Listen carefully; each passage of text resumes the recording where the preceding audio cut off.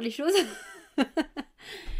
Euh, la harpe, donc voilà, la harpe, instrument qui est derrière moi euh, et qui donc celui-ci est un instrument donc qui est dit harpe celtique, mais j'aime pas ce, terme, je préfère harpe portative.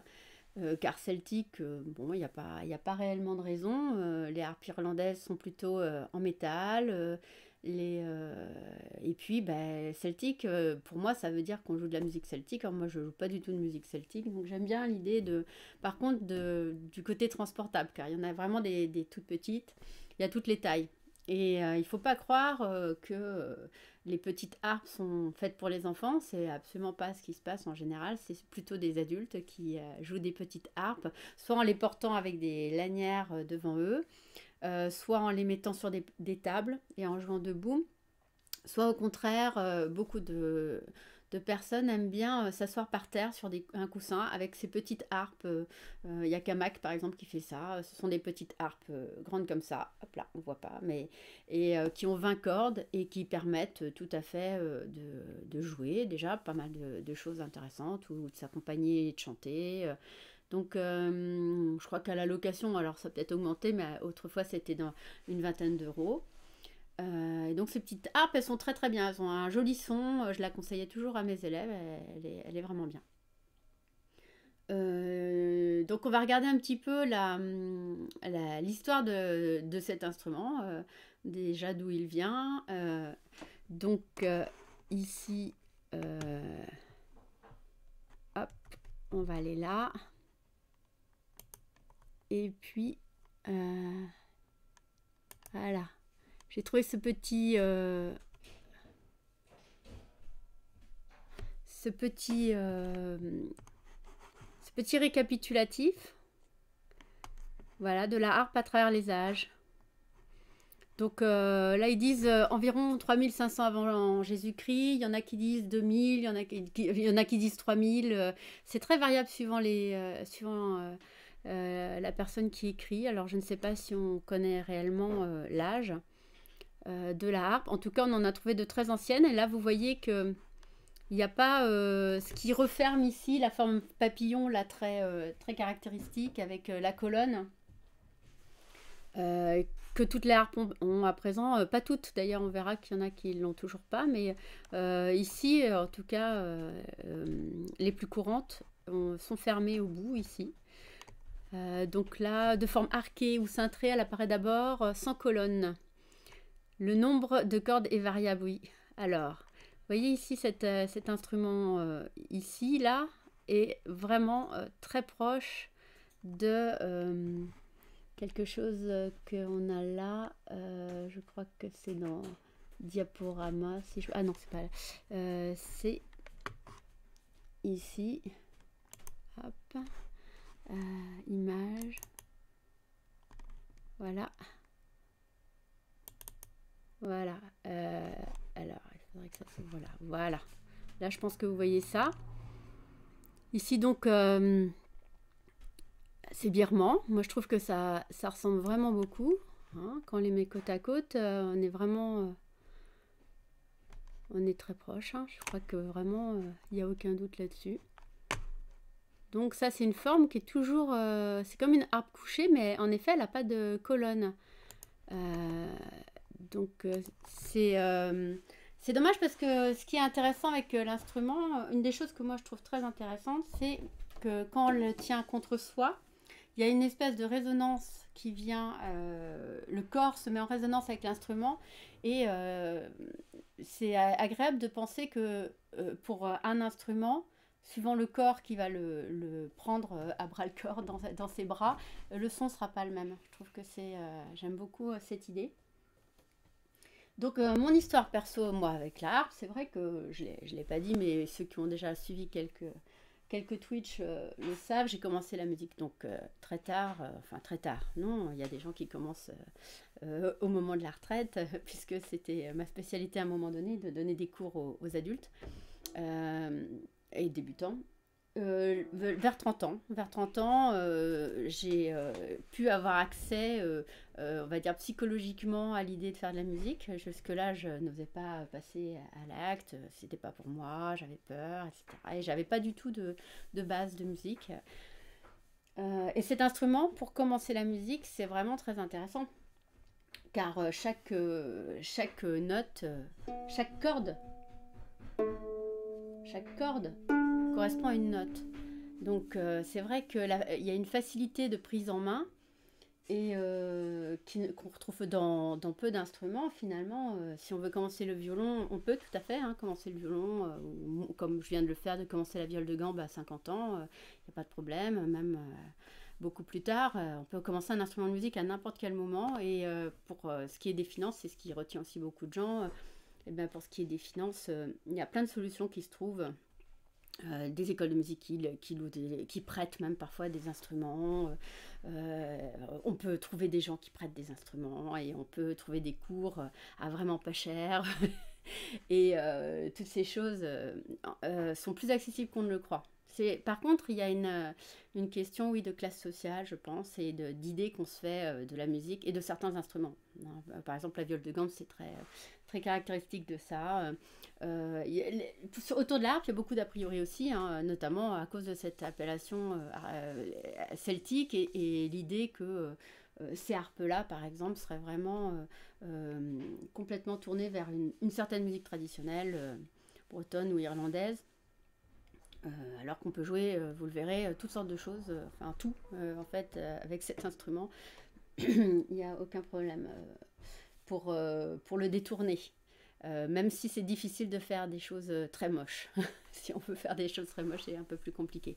Donc on voit là ici euh, donc les Égyptiens importent d'Assyrie des harpes angulaires. Je continue le dérouler. Voilà, en Amérique latine, donc on, va regarder ça tout de suite. en Amérique latine, on a tout, un, tout un monde très riche de, de harpes les gens euh, là-bas euh, se sont complètement euh, appropriés l'instrument. Et ça avait été amené par, l'Église, par, et par le, les catholiques qui sont allés là-bas. Mais finalement, là ils, se sont complètement emparés de l'instrument et il y a une tradition très forte. Alors, ils ne jouent pas du tout euh, donc il y a plusieurs euh, façons de jouer de la harpe. Euh, nous, on va plutôt utiliser la pulpe du doigt comme ça et pincer la corde. Hein. On, appuie sur la corde. Attendez, je vais vous montrer ça d'un peu plus près. Hop. Tac. Voilà, j'essaye de ne pas faire tomber que ça. et de mettre la rouge. Ah. ça ne marche pas. Euh, ça ne marche pas, je vais la chercher. Oui, oui, j'ai essayé, ça ne marche pas. Euh, oui, oui, j'ai essayé déjà. Ah, c'est parce que tu as oublié d'enlever ton écran. Il faut que j'enlève mon écran, c'est ça. Donc le bleu, il faut que je l'enlève et il faut que je remette le rouge. C'est ça, tout à fait. Donc, euh, on voit ma main, on a mis un fond noir parce que l'autre fois, quand je montrais des choses, on voyait pas grand chose. Donc, nous, notre technique de jeu, ça va être plutôt ça. Hein on appuie, on est en appui avec le pouce un peu comme ça, un peu haut. On est en appui sur la corde et on va lâcher et le son va partir. Il y a des techniques de jeu très différentes. Il y a des harpes qui se jouent avec euh, des euh, cordes métal et, du, et à ce moment-là, on emploie les ongles, les ongles longs. Euh, et ça, c'est certaines harpes irlandaises, pour le coup, on peut le dire, puisque c'est vraiment euh, typique et très traditionnel. Euh, ces harpes complètement où toutes les cordes sont métalliques. Et on peut vraiment pas jouer avec les doigts. Hein. C'est tout à fait notre technique de jeu. Et vous verrez tout à l'heure des gens jouer en Amérique du Sud, en Amérique latine, ils ont pris l'habitude de jouer plutôt la main ouverte. Donc ils, vont jouer avec les mains comme ça, très, très ouvertes. Ils vont faire leur accord comme ça. Comme ça avec la main à plat. Alors que nous, notre main est plutôt vers le bas. Ça, c'est vraiment une différence fondamentale entre les, entre les, techniques. à ma connaissance, ce sont euh, trois, les trois techniques euh, que je viens de, nommer sont, sont les trois techniques euh, euh, qui sont employées. Je, ne, pense pas qu'il y en ait d'autres. Donc ici, Amérique latine, la harpe. Donc euh, là-bas, euh, oh, on peut tout de suite aller écouter, si vous voulez, euh, les, choses qui se font là-bas. Donc je crois que ici, dans vidéo, hop.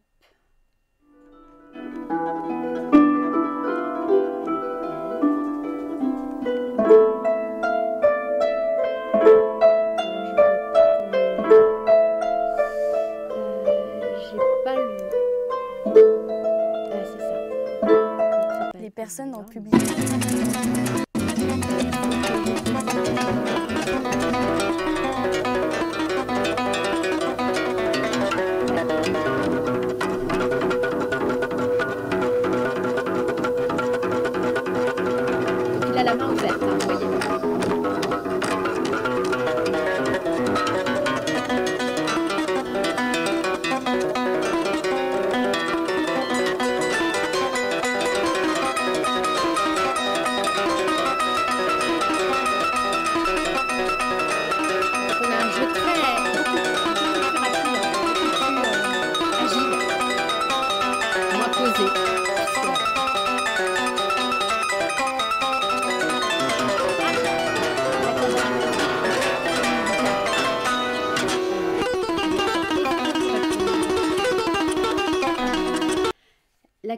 Basique euh, est en carte. euh, non, chaque, chaque, euh, chaque corde est une note, comme sur un piano.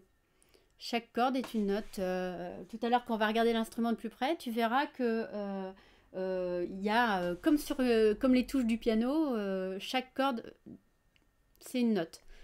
Donc, il n'y a pas d'accordage à proprement dit. On entend bien la musique, mais très peu l'entortiller. Ah, bon. Ben oui, mais j'ose pas trop toucher à ce micro. hein. Moi, je préfère que, que vous entendiez la musique. Euh, je le relance un peu. Voilà. euh, hop.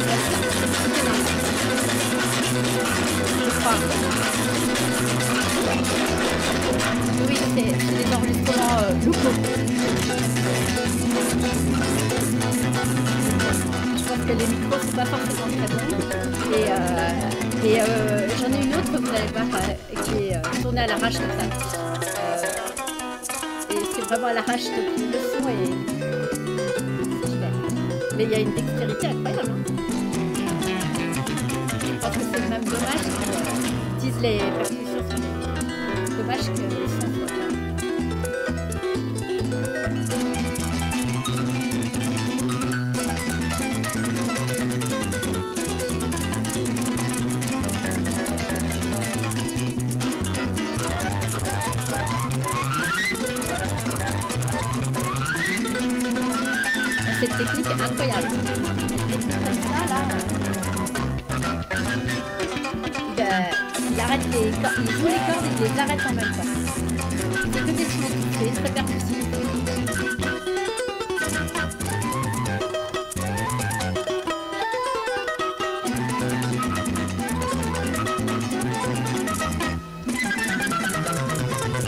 Eh ben, bah, écoute, pas de la main.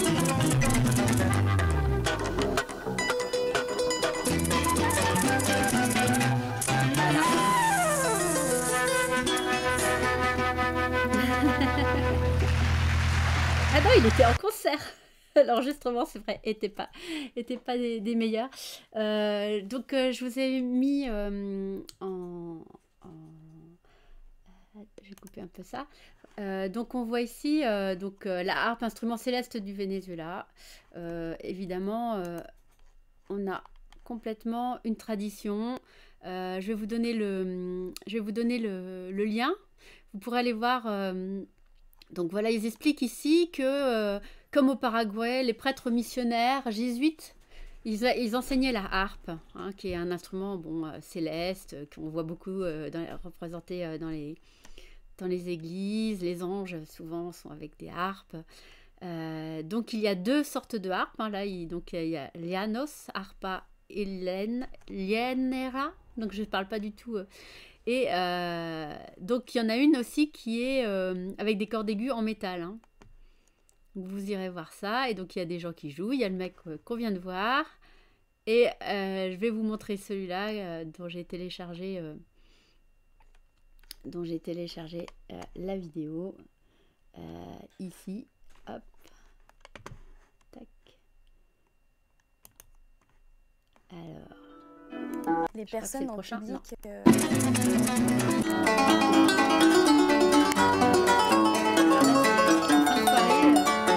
El maestro Víctor Morales.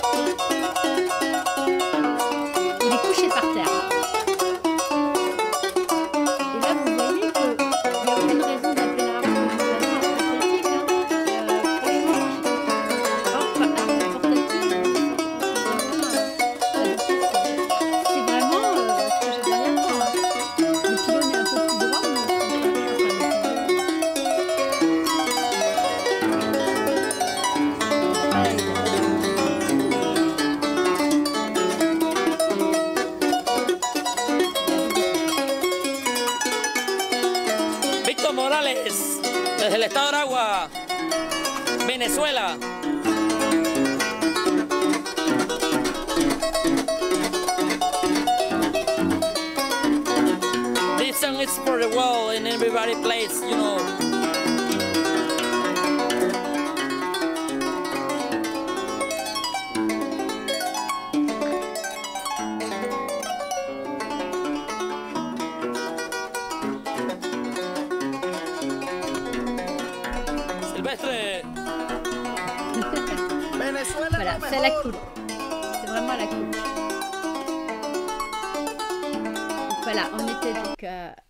Euh, je vais vous donner le lien de cette, euh, de cette euh, page consacrée à, à la harpe au Venezuela. Mais donc, il y a une tradition au Brésil, au Mexique, toute l'Amérique latine.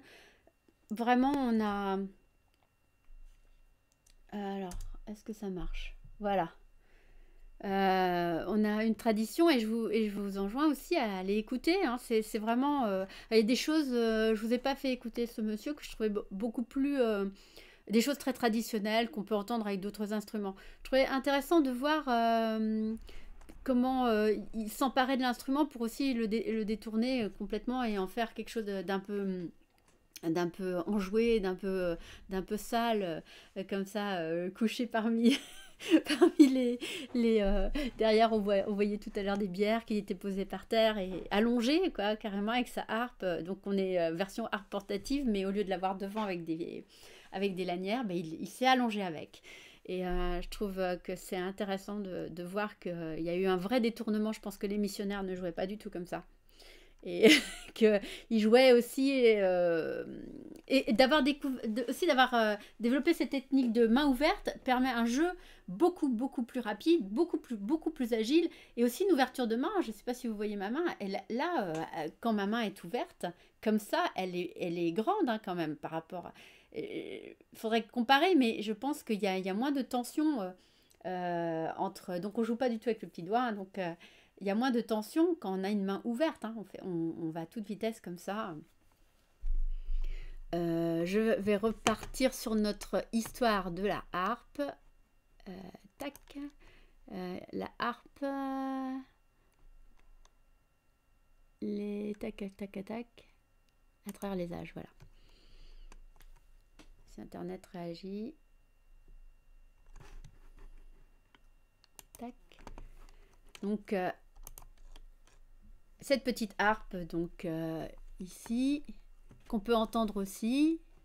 euh, tout à l'heure, je vais vous la faire entendre juste après. Donc, euh, elle est citée dès le, 5, le 7e siècle, 6e siècle. Donc, les luthiers imaginent de doter la harpe d'une deuxième rangée de cordes accordées selon l'échelle chromatique. Donc, 58 cordes avec des, des cordes, des, euh, tailles variables.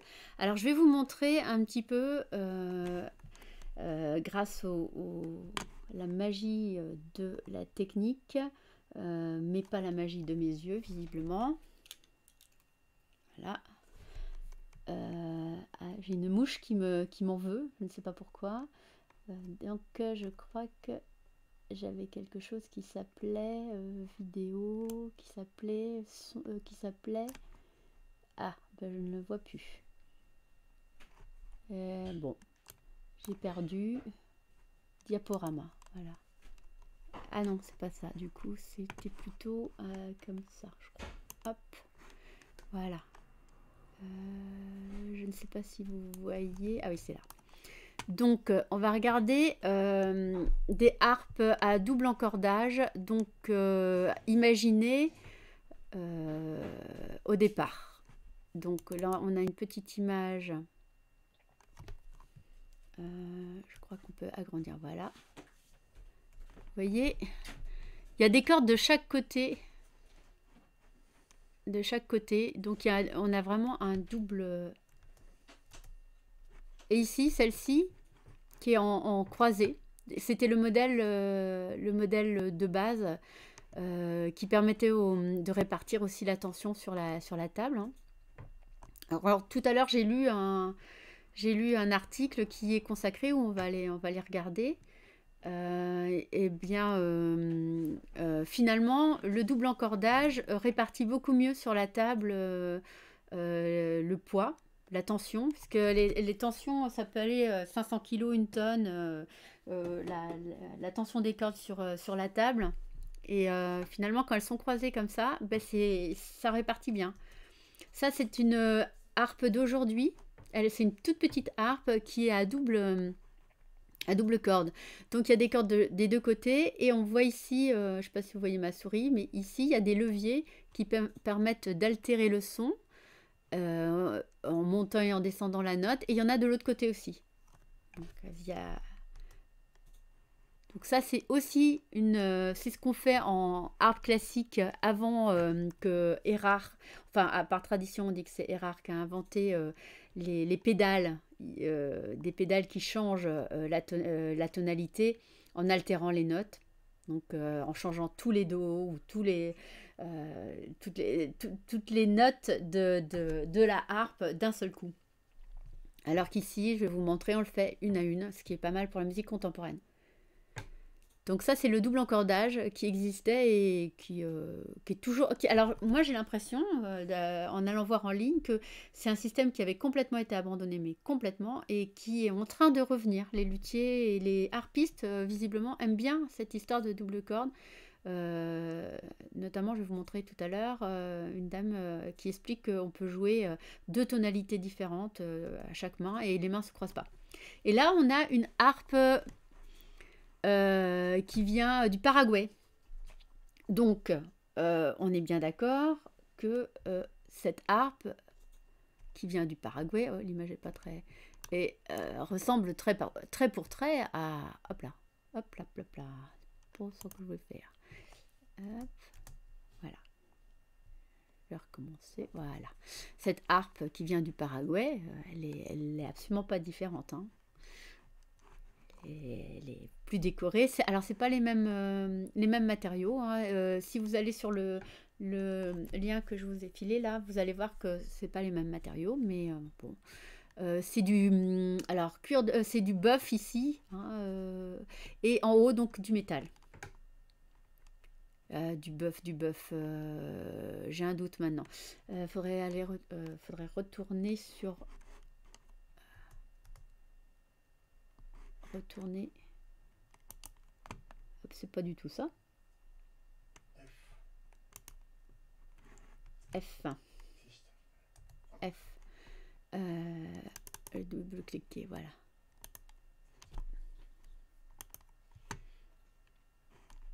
Euh, sur euh, Venezuela. Ah, cette mouche. Qu'est-ce qui est écrit là? Euh, Bois locaux d'excellente qualité.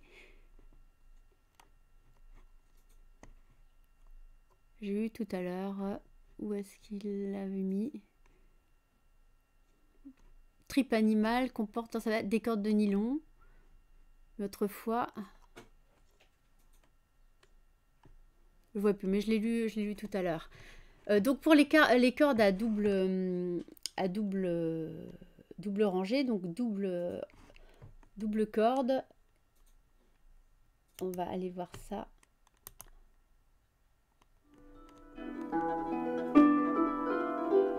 Ici, avec notre amie. Et je crois qu'elle nous montre ça. Voilà.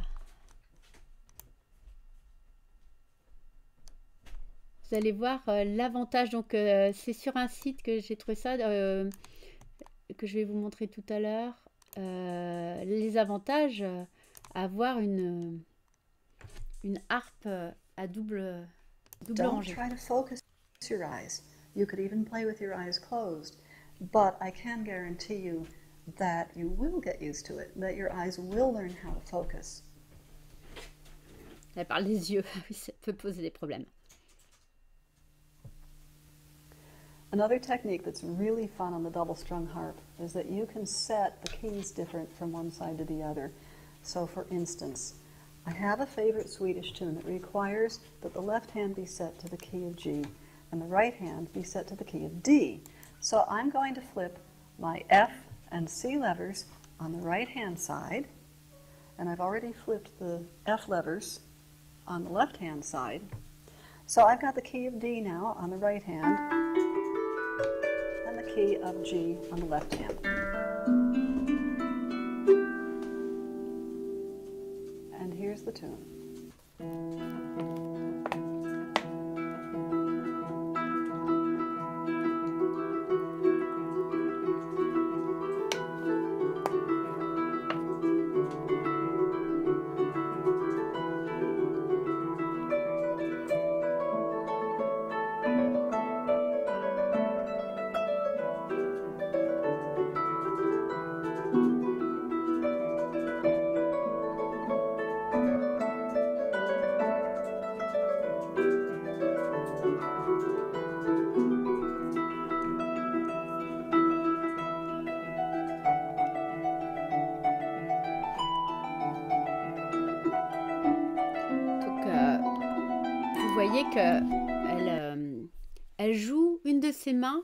Joue encore en, clé de sol.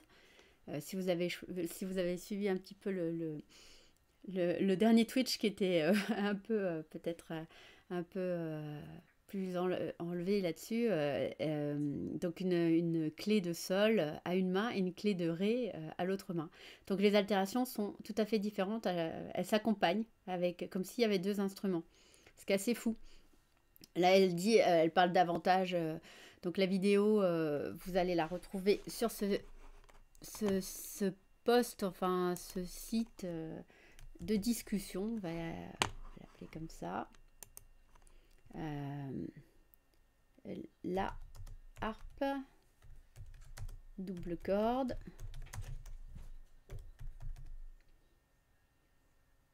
Ou double ouais tac je vais vous mettre le lien voilà vous aurez plein de renseignements sur cette harpe donc le premier avantage qu'elle explique au départ c'est que les mains, on a vu tout à l'heure le monsieur qui était couché par terre, là, euh, il, il était, ses mains étaient au même endroit et jouaient au même endroit parce qu'il y avait un double.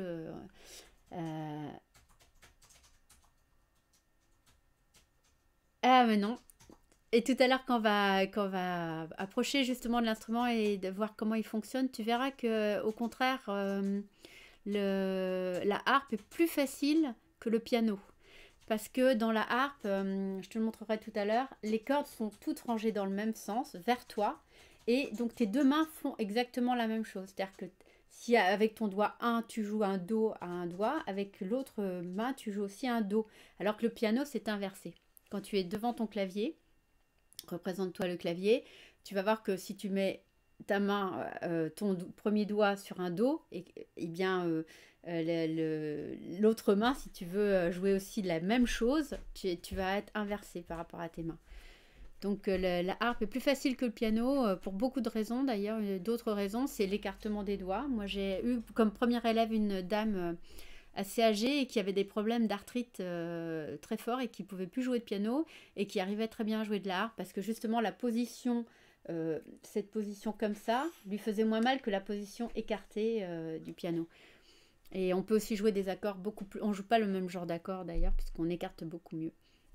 Non, au contraire, le le, le, euh, côté euh, le côté compliqué euh, n'est pas présent. J'ai même rencontré des gens qui ne savaient pas lire du tout des partitions et qui apprenaient à jouer de la harpe en quelques heures, rien qu'en en retournant dans leur esprit la partition et en l'appliquant sur les cordes, comme si c'était une partition verticale. Et qui jouait comme ça à, la, à la vue, quoi. D'accord, je voulais dire, pour un apprentissage classique, perso, je suis, je suis pour qu'on joue des instruments comme on veut. Ah oui, non, même pour un apprentissage classique. hein. Non, non, y a- je vais euh, vous montrer tout à l'heure comment fonctionne l'instrument. Euh, Il n'y a pas de... euh, tu peux t'accompagner avec une main en chantant, tu peux euh, t- faire des choses très simples à la main gauche, on, fera ça tout à l'heure, hein, euh, pendant que tu fais des choses compliquées à la main droite, mais tu peux aussi jouer à une seule main et euh, à le nombre de doigts que tu veux. Pendant des siècles, on a joué qu'à trois doigts. Ça fait pas longtemps qu'on a rajouté un quatrième doigt. Le, doigt, le tout petit doigt est, jamais utilisé, il est, il est ramassé euh, parce que ça, ça pourrait créer des, des, ten- des tendinites, hein, tout simplement d'a- d'avoir à pincer une corde euh, avec ce petit doigt qui est plus court et plus, fragile. Et puis euh, les muscles ici sont, sont reliés, hein, ces deux muscles-là, donc euh, euh, pas, il n'est pas utilisé.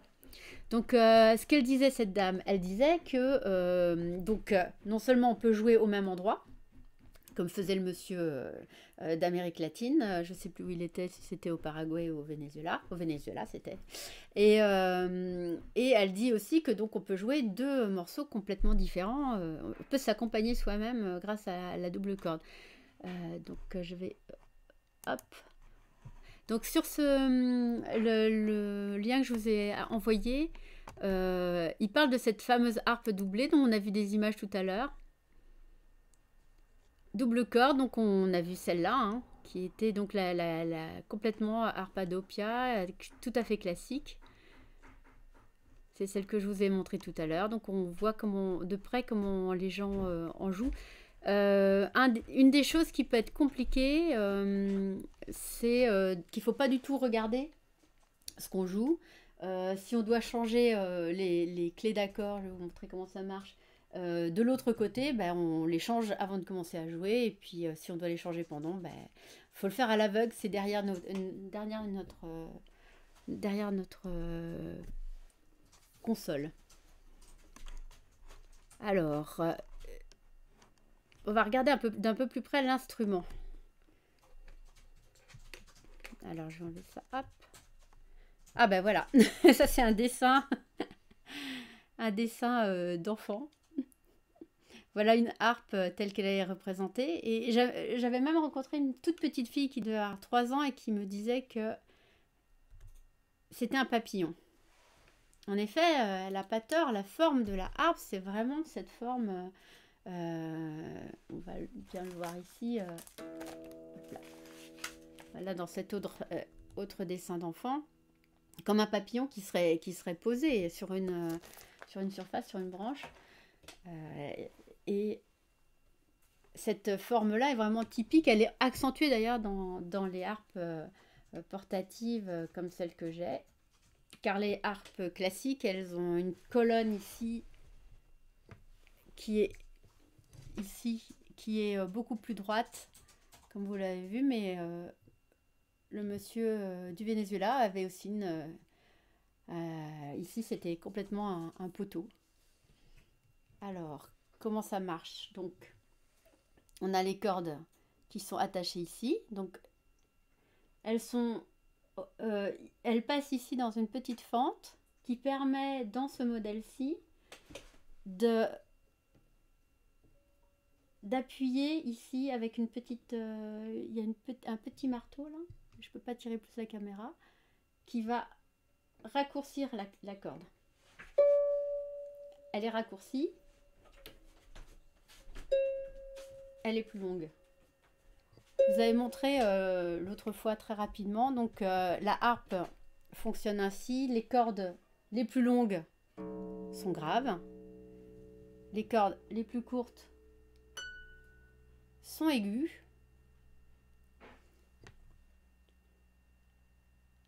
Mais non, on n'est pas obligé, roman graphique, d'avoir 10 doigts. Comme on est obligé... euh, On peut avoir le nombre de doigts qu'on veut avec la harpe. On peut jouer à un doigt si on veut. Et pendant des siècles, on a donc joué avec trois doigts. Donc euh, trois doigts suffisent, mais je pense qu'un doigt suffit. Et puis si on n'a pas de doigts, euh, les pieds, le nez, euh, tout ce qu'on veut, du moment que ça pince une corde, je pense qu'on peut le faire avec toutes sortes de, toutes sortes d'instruments ou d'adaptations collés sur soi. Euh, même un, bracelet ou même sans main, je pense qu'on doit pouvoir tirer des sons euh, de cet instrument. Donc on a euh, donc les, graves, les aigus. Comme je vous l'ai montré l'autre fois quand on faisait le solfège, si on coupe la corde de Do, si on la pince au milieu et qu'on a une, ce qu'on appelle une harmonique, on va avoir le son du dessus. Si on la recoupe en deux, on a normalement ce son-là. Voilà, on a la, quinte. Voilà, c'est assez mathématique. Euh, L'autre fois, j'avais pas poussé le vis jusqu'à jusqu'à mesurer, mais ce soir, comme on se consacre à la harpe, je vais pousser le vis jusqu'à mesurer. Est-ce que la corde de Do qui est ici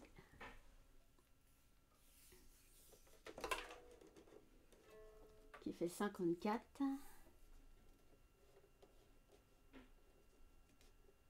Eh bien non, pas, ça fait pas la, la moitié. Ah oui, c'est à partir de l'endroit où le son est produit. Ça, il faut pas que...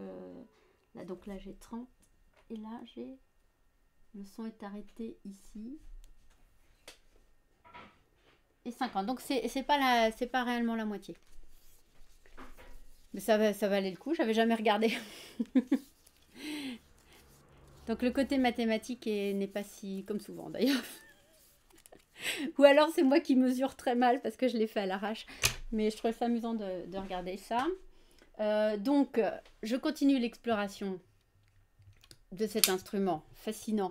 Alors, ce que j'aime énormément dans cet instrument, c'est qu'il est vraiment, euh, euh, euh, comment dire, appréhendable dans ses problèmes techniques.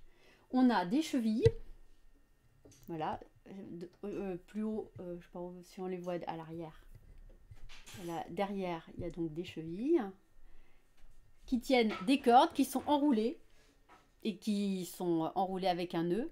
À l'intérieur, on a des nœuds. Hop là. Ah oui, c'est un peu sombre à l'intérieur, évidemment. Euh, je crois que j'ai une petite lampe ici. On va l'utiliser. On va éclairer l'intérieur. Voilà. Voilà, l'intérieur. On a des nœuds. Sur certaines harpes, euh, par exemple sur les harpes Kamak, ce sont des chevilles de bois qui sont avec un nœud coulissant passé à travers. Ah, J'avais pensé au départ à vous en montrer, mais j'ai oublié. Après, là, c'est euh, c'est juste euh, des nœuds avec une, un bout de corde qui les tient et donc qui en sert avec euh, un nœud coulissant tout simple. Donc c'est très facile de changer une corde. Ensuite, on prend un instrument qu'on appelle une clé d'accord. Et courageusement, parce que suivant le nombre de cordes qu'on a, on prend la cheville, on rentre la clé et on raccourcit, on tend ou on détend la corde. Donc on la raccourcit en serrant. Voilà, si on serre comme ça, on va serrer et donc remonter légèrement la corde, la tendre. Elle va être donc plus courte et ça va monter le son. Il sera plus aigu. Et si on détend, il sera plus grave. Et ce que je vous montrais tout à l'heure, là on verra mieux. Ici donc on a une petite un petit système qui appuie. Hop, je sais pas si on voit bien. Ce petit système ici là il va raccourcir notre corde. Là il a pince ici. Et donc elle fait ça de moins. Et donc l'altération va être d'un demi-ton.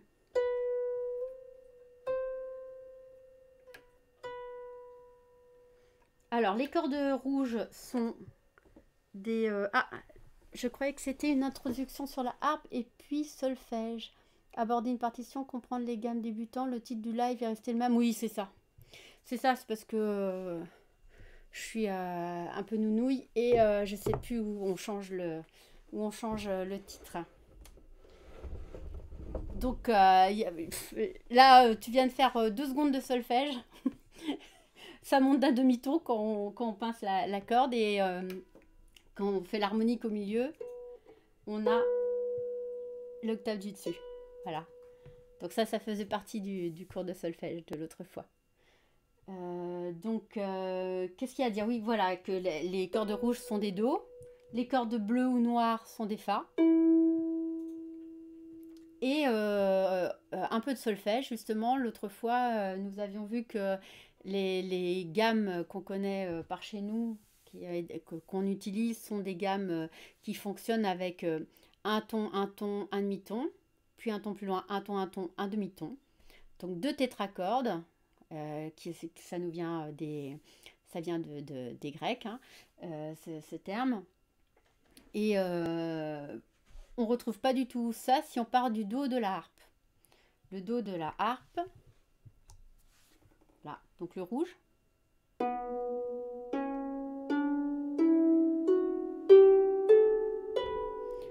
On ne reconnaît pas notre gamme habituelle. Parce qu'en effet, la harpe n'est pas en Do majeur. Donc là, pâte sceptique, voilà, un petit peu de solfège. Ça signifie que entre notre Do et notre Ré, notre Ré et Mi, Mi on n'a pas, le, on n'a pas cette répartition de un ton, un ton, un demi-ton, un ton, un ton, un ton, un demi-ton. On n'a pas cette répartition-là. Euh, quand tu regardes sur un piano, tu vois très bien où se situent les, cordes, euh, les, touches blanches et les touches noires quand tu as un clavier devant toi. C'est très facile de se représenter une gamme quand tu as un clavier devant toi. Euh, là, j'ai pas descendu le clavier, mais tu verras que entre le si et le do, il n'y a pas de touche noire parce qu'il y a juste un demi-ton entre le si et le do et entre le mi et le fa il y a aussi un demi-ton. Il y a deux endroits de, la gamme, donc euh, do, ré, mi, fa, la, si, do, donc euh, les sept notes. Euh, il, y a, deux endroits où il n'y a qu'un demi-ton. Tout le reste c'est un ton. Donc ça c'est pour les gammes, la gamme par exemple majeure qu'on utilise ici, mais l'autre fois je parlais aussi des gammes pentatoniques, il y a toutes sortes de gammes et, euh, euh, qui ne marchent pas euh, tout à fait de la même façon. Et, il y a des pays où on a énormément, énormément de, de gammes différentes. une soixantaine. enfin, on, utilise toutes sortes de, de, modes. On va appeler ça des, des, modes. Comme les Grecs aussi employaient plein de modes. Ils partaient d'une note et puis ils, découpaient justement la corde. ils la découpaient à plusieurs endroits. Et en effet, on avait on avait euh, différents sons. Euh, d'ailleurs, on pourrait remontrer un petit peu, puisque c'est vrai que ça ne nous empêche pas de faire un petit peu de solfège. Mais quand on fait... Euh, on a montré ça l'autre fois. Bah, tiens, je vais prendre une clé d'accord. dans chaque corde, on a tous les sons possibles.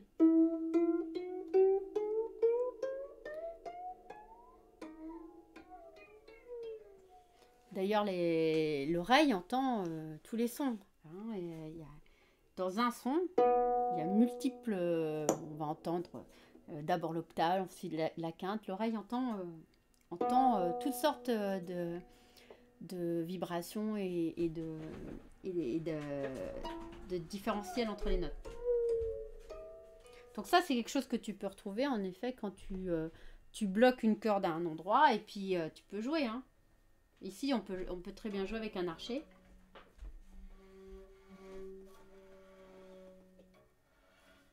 Et si je bloque ma corde à un, endroit ou à un autre, je vais pas avoir le même son. Ce serait bien si l'archet était tendu.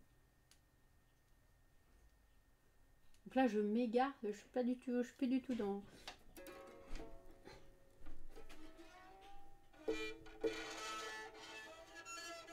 Si je, si je coince ma, si je baisse ma main. Ce qu'on retrouve d'ailleurs sur euh, le violoncelle, la viole, le violon, où on, appuie euh, sur la corde et donc on la, on la rend plus petite ou plus grande et euh, donc ça fait varier la hauteur du son. Ici, on a quand même...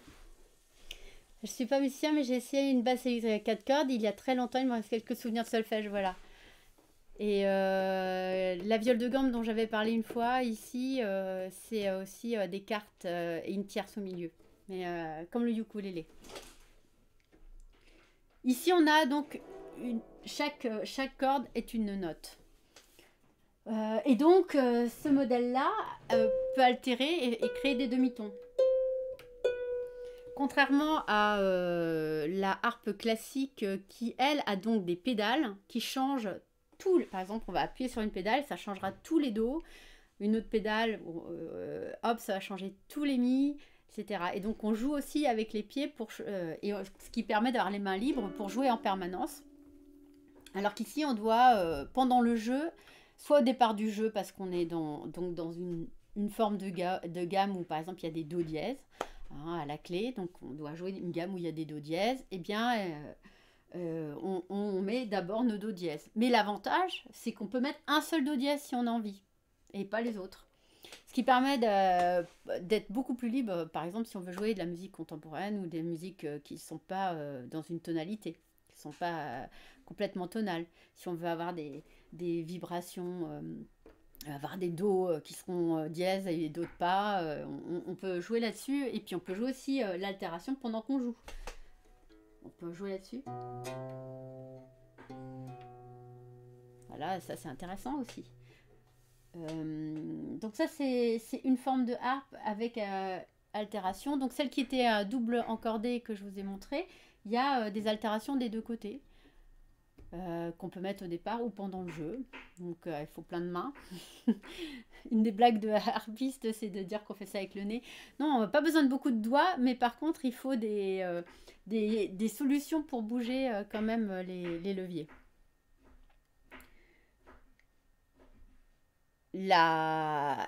L'histoire de la harpe, oui, donc qu'est-ce qui sur le petit livre de dictionnaire de la musique, il présente donc celle-ci,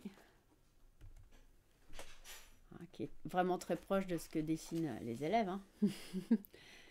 voilà, c'est vraiment cette forme euh, de papillon. Alors, harpe. Dérivée de l'arc musical primitif, la harpe était déjà connue du monde suméro-chaldéen environ 3000 ans avant Jésus-Christ. Tout à l'heure, il disait 3500, ça, ça dépend. Euh, comme en témoigne la peinture d'un vase de Bismaya et l'instrument découvert en 1928 au cimetière royal d'Ur? La harpe égyptienne existait dès le 4e siècle. Donc oui, moi j'ai vu euh, au Louvre, je crois d'ailleurs, il y a une très vieille harpe qui ressemble très pour très aux harpes qu'on fait maintenant. hein, vraiment. euh, donc de grande dimension, elle était à 7 ou 8 cordes, donc beaucoup moins que celle-ci qui en a euh, 36 je crois. Donc ça, c'est très variable. hein, les instruments, euh, je vous parlais des toutes petites, là, portatives, euh, ou qu'on peut même porter sur soi, euh, on peut en avoir 20. euh, les harpes, en général, c'est un nombre, c'est des multiples, hein, il y a 48. euh, et dans les grandes harpes, il y en a vraiment beaucoup. Et puis bon, quand c'est doublé, bah, il y a le double. Donc on peut aller très très loin. Et quand il faut accorder tout ça, c'est du boulot parce que c'est hum, un instrument qui particulièrement se désaccorde. hein. Particulièrement. D'ailleurs, je vous montrerai tout à l'heure comment on accorde. Euh, c'est pas très stable. Bon, celle-ci, euh, elle a donc des cordes métal euh, sur la fin, là, sur quelques cordes métal sur la dernière octave. Mais tout le reste, c'est soit du nylon, soit du boyau. Celle-ci, c'est du boyau. Donc, son que j'aime mieux, plus chaud, plus rond, mais qui casse, les cordes cassent plus souvent et sont plus chères. Quand on a une corde, quand on a une harpe à corde nylon, les cordes ne cassent quasiment jamais et ça coûte très très peu cher et donc c'est mieux pour les débutants euh, d'avoir une, une harpe à, à corde nylon, c'est vraiment, c'est vraiment mieux. Euh, celle-ci, euh, bon bah celle-là, elle a, elle a des cordes de boyau, euh, mais qui, qui cassent pas trop. Ça, ça dépend vraiment des instruments. Il y en a qui sont plus stables que d'autres. Je pense que c'est une, une question de, de fabrication ou de, du bois. euh, ça bouge moins. Euh, Quand ça bouge beaucoup avec l'hygrométrie, par exemple, euh, le bois, ben, ça, ça- les grandes variations font casser les cordes. C'est souvent en changement de saison que on sent la harpe de la housse et hop, on voit qu'il y a plein de cordes qui manquent. Elles sont, elles sont sautées. Donc, qu'est-ce qu'ils nous disent? Aucun document ne permet de décrire ni d'identifier avec certitude la harpe des Hébreux, le kinnor, instrument de David, mentionné une quarantaine de fois dans la Bible. Est-il seulement une harpe comme en ont décidé les traducteurs modernes? Ah oui, alors ça, par exemple, ah c'est dommage, je vous ai pas, je suis pas allée sur le, site, mais il y a euh, un site qui s'appelle euh, instrument de la. J'ai hésité tout à l'heure.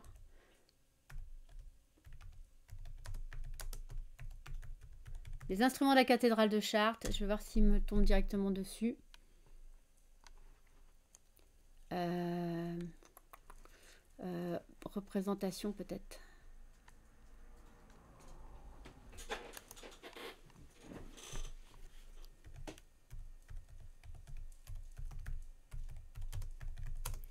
En tout cas, je peux vous raconter, c'est que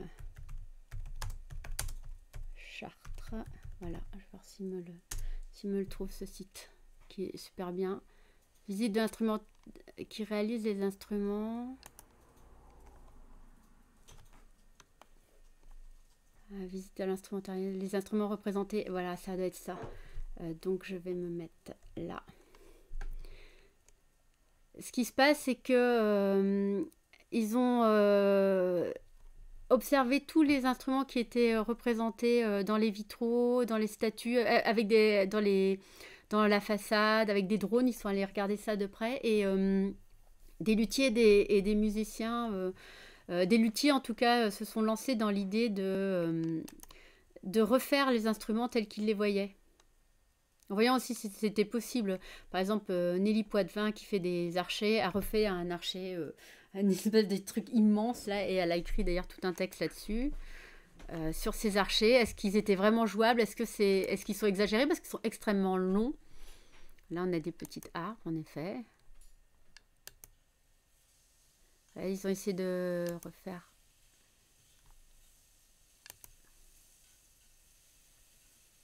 à l'identique. Donc c'est un groupe de luthiers euh, associés et après il y a des musiciens qui donnent euh, des concerts avec ces instruments. Alors euh, c'est très compliqué de savoir si les choses sont bien représentées, exagérées ou pas. Euh, euh, donc les musiciens aussi donnent leur avis. et ce que je voulais vous montrer, alors j'espère qu'on en verra, c'est qu'il y a par exemple ce petit instrument là, qui s'appelle, ah j'ai oublié son nom, j'ai pourtant vu une... j'avais vu une rétrospective d'instruments très anciens à Saint-Savin. Ah, J'ai le mot tort en, tête, mais c'est pas ça. C'est un instrument qui n'existe plus et qui n'est pas une harpe. On dirait que c'est une harpe. On voit souvent sur les, euh, façades d'église des ânes qui jouent un instrument. Et ce n'est pas une harpe, euh, c'est des cordes qui sont posées et derrière il y a une, euh, y a une table. La table, elle est là, derrière.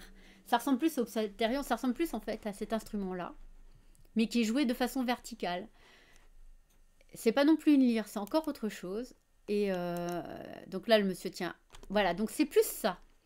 Cette chose-là, là, euh, il faut il faut pas la, la confondre donc avec la, la harpe. Euh, pas non plus un psalterion. non, c'est un autre nom que, que je, non. Non, non, non, non, on tape pas du tout dessus. C'est aussi des cordes pincées. J'ai un mot qui fait obstruction. J'ai l'impression que c'est. Mais je vais dire une bêtise parce que j'ai oublié le nom. Et cet instrument-là euh, ressemble, mais sur euh, quand c'est une quand c'est une, une sculpture, on peut presque pas voir que c'est pas une harpe. On peut pas voir que c'est ah, si c'est ajouré ou pas quand c'est contre un mur et que c'est euh, et que c'est joué par un âne ou un, ou, un autre animal. C'est Pas une lyre non plus. c'est pas non plus une lyre parce que la lyre est, est ajourée. Et donc euh, là, je suis donc sur leur, euh, leur site, mais euh, est-ce qu'il y a des... La rote. Ah, Roth, c'est ça, bravo La Laurent. Heureusement que tu étais dans le... que tu étais dans... Alors, est-ce qu'il y a des, des images ici Je je t'envoie ça par lien, par le, le, le chat. La rote, très bien. Voilà, ça, ça, par exemple, je pense que ce n'est pas une harpe, contrairement à ce qu'on pourrait croire. Donc là, il mesure, euh, voilà. Vous pouvez ensuite installer une tierce majeure. Ouais, donc là, il, voit à quel point c'était précis avec le monocorde, comment on peut jouer justement toutes les cordes dessus. Ça, c'est un psalterion. Donc le psalterion euh, bien connu, qui est toujours joué. Là, on a encore un psalterion. La rote, voilà, elle est là. La rote de l'âme qui veille. Voilà, ça, c'est souvent un âne. Voilà. Donc là, euh, ça, c'est une harpe.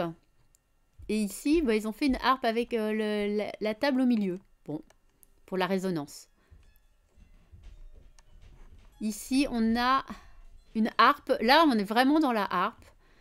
Même si elle, euh, vous voyez, comme on voyait au, au départ. Non, ça c'est ça c'est un psalterion. Voilà. Ça joue d'ailleurs avec un plectre. Les tympanons, on joue avec des, euh, des maillotches.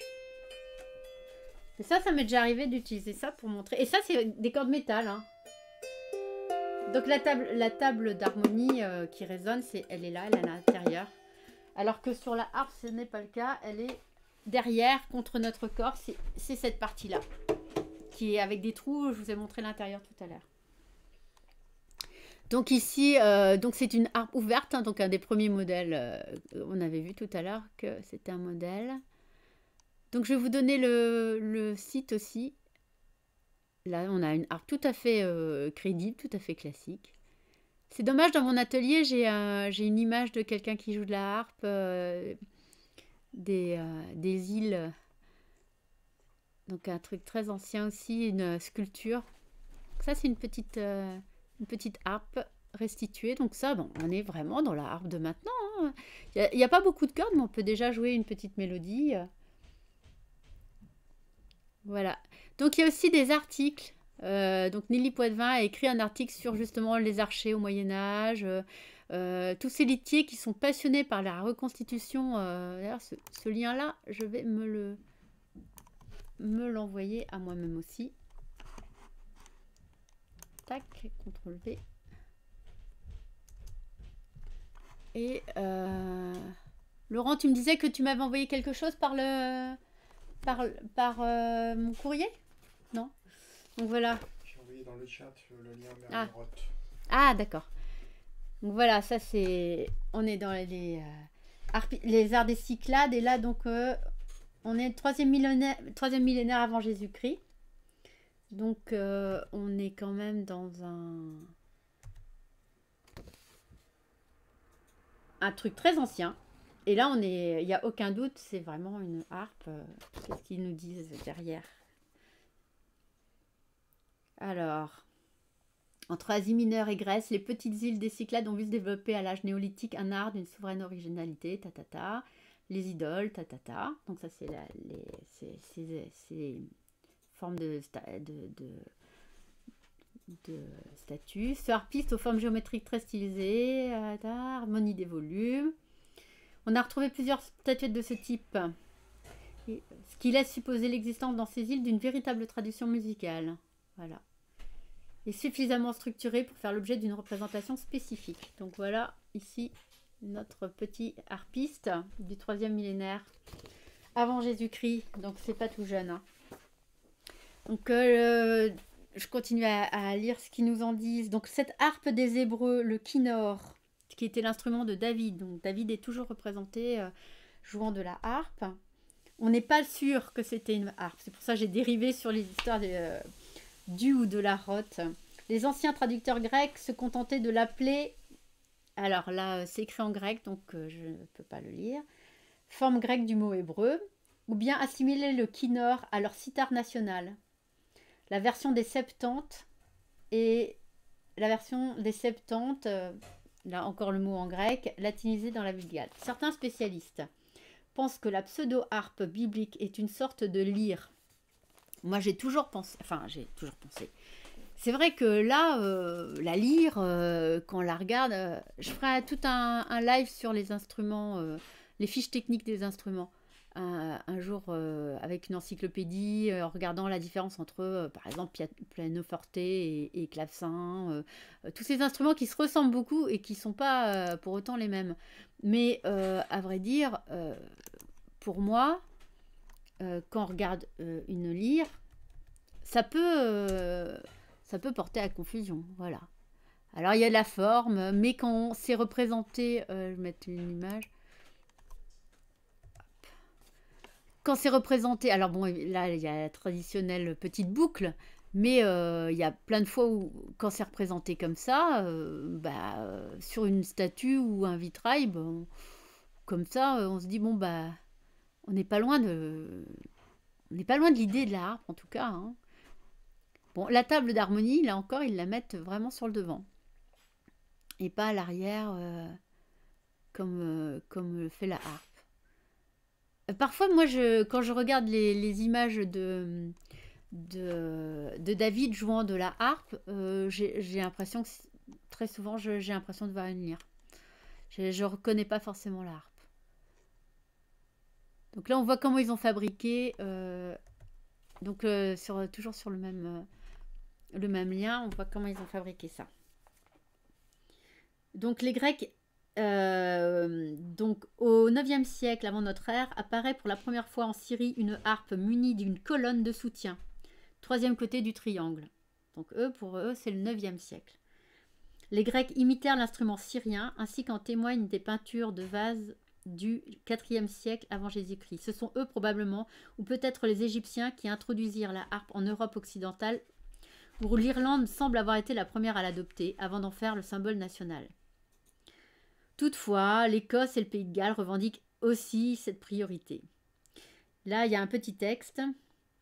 Instrument des jongleurs ménestrels Minninger, la harpe connue au Moyen Âge une très grande vogue jusqu'à ce qu'elle fût détrônée au XVe siècle par le luth.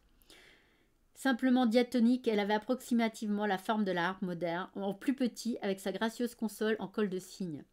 On sait à peu près rien de la musique à, laquelle elle était alors destinée. À partir de la fin du XVIe siècle, apparaissent en Espagne et en Italie les premiers exemples de musique expressément notés pour la harpe. Et c'est seulement dans l'Orfeo de Monteverdi, en 1607, qu'elle commence à être utilisée rationnellement. Euh, oui, on ne sait pas trop euh, quelles étaient les musiques, euh, justement dans cette exposition à, à l'abbaye de Saint-Savin, il, disait qu'il y avait euh, le même instrument pour la rue, euh, il y avait des instruments différents pour la rue ou pour euh, ce qui était joué dans les, pour la musique sacrée dans les églises ou plus tard à, la- cour. Mais ça pouvait être les mêmes musiciens qui jouaient, par exemple, qui allaient jouer du rebec dans la rue, mais qui jouaient un équivalent plus proche du dans, dans, à la cour. Euh, donc on, est vraiment deux, dans deux mondes. On a fait un monde de jongleurs, de ménestrels et euh, les harpistes euh, connaissent bien justement les histoires de Harper, ce qu'on appelle les Harper, euh, donc irlandais. Et un qui est très connu, qu'on a, traduit son nom par O'Carolan, mais parce que le nom était trop difficile à prononcer, je pense. je pense qu'il devait avoir venir soit du Pays de Galles ou en tout cas euh, ce Harper là était euh, je ne sais pas si c'est une légende en tout cas on, a des notations de ce qu'il jouait et euh, c'est beaucoup des musiques très savantes quand même hein, je vous montrerai si j'ai des partitions là. C'est des musiques quand même très savantes mais qui étaient jouées dans la rue et il était aveugle. Les, les, harpeurs étaient, étaient aveugles enfin il y avait une tradition en tout cas de, gens qui jouaient de cet instrument qui, était, qui ne voyaient pas. Et c'était son fils qui, qui avait noté, euh, qui prenait en note euh, ce qu'il jouait. Et euh, donc, est-ce que c'est ce qui s'est transmis jusqu'aujourd'hui Ça, c'est encore une autre question. Donc, luthier, c'est un luthier allemand. Donc là, je vous, je vous lis la suite. donc, l'instrument dont l'usa- l'usage semble s'être généralisé s'appelait arpa, arpadopia. C'est celle que je vous ai montrée tout à l'heure, la arpadopia. Euh, hérité des Irlandais, introduit en Italie en 1580, deux rangées de cordes qui permettaient de jouer tous les degrés de la gamme chromatique. Donc on a toutes les notes. Cependant, la harpe fut l'objet d'une désaffection générale jusqu'au XVIIIe siècle. C'est alors qu'un luthier allemand, Hochbrückner, Hochbrücker, excusez-moi, c'est pas Bruckner, Hochbrücker, représenté, reprenant l'idée qu'il avait eue vers 1660, un petit artisan tyrolien imagina de commander par des pédales dont les tiges passaient dans une colonne une série de petits crochets destinés à raccourcir chacune des cordes d'une longueur correspondant à un demi-ton, suppléant ainsi à la deuxième rangée de cordes de la harpa doppia. Donc oui, en effet, dans la harpe qu'on appelle maintenant la harpe classique, euh, il n'y a qu'une rangée de cordes, même si je vous dis, euh, il y a parfois maintenant des, harpistes qui aiment jouer euh, des doubles cordes en musique classique, parfois aussi pour la, simplement pour qu'elles résonnent en sympathie, les cordes. hein. Ça, c'est, il, y a des, euh, il des luttes qui fonctionnent comme ça, qui ont le double de cordes pour que ça résonne en sympathie. Même Marteneau, les ondes Marteneau avaient à un moment donné une, espèce de, de harpe posée sur l'instrument qui permettait de résonner euh, en sympathie. Et donc dans cette colonne, qui euh, justement maintenant cette colonne, elle ne peut plus être euh, arrondie comme ça, elle est creuse et c'est dedans des poulies, euh, il y a des, des fils hein, qui passent là-dedans. C'est très lourd. C'est très lourd, c'est toute une, euh, c'est toute une machinerie, euh, et donc c'est évidemment beaucoup plus cher, etc. Donc euh, là, ils ne parlent pas. traditionnellement, hein, on dit que c'est Erhardt. Ah, eux, ils disent que c'est plus tard. hein. Il y a donc des gens qui, qui écrivent, là, même Mozart. Sébastien Erard remplaça le système de crochet, ah c'est ça, ou les béquilles de Cousineau par des fourchettes montées sur des petits disques Metallica. C'est ça donc la méthode Erhardt et c'est celle qu'on a. Et donc c'est la harpe, elle date de 1801 telle qu'on la connaît maintenant. Donc la harpe Erard est tendue de 46 cordes qui lui donne une étendue de 6 octaves et demi. Euh, les 7 pédales agissent chacune sur toutes les octaves d'un même son, comme je vous disais.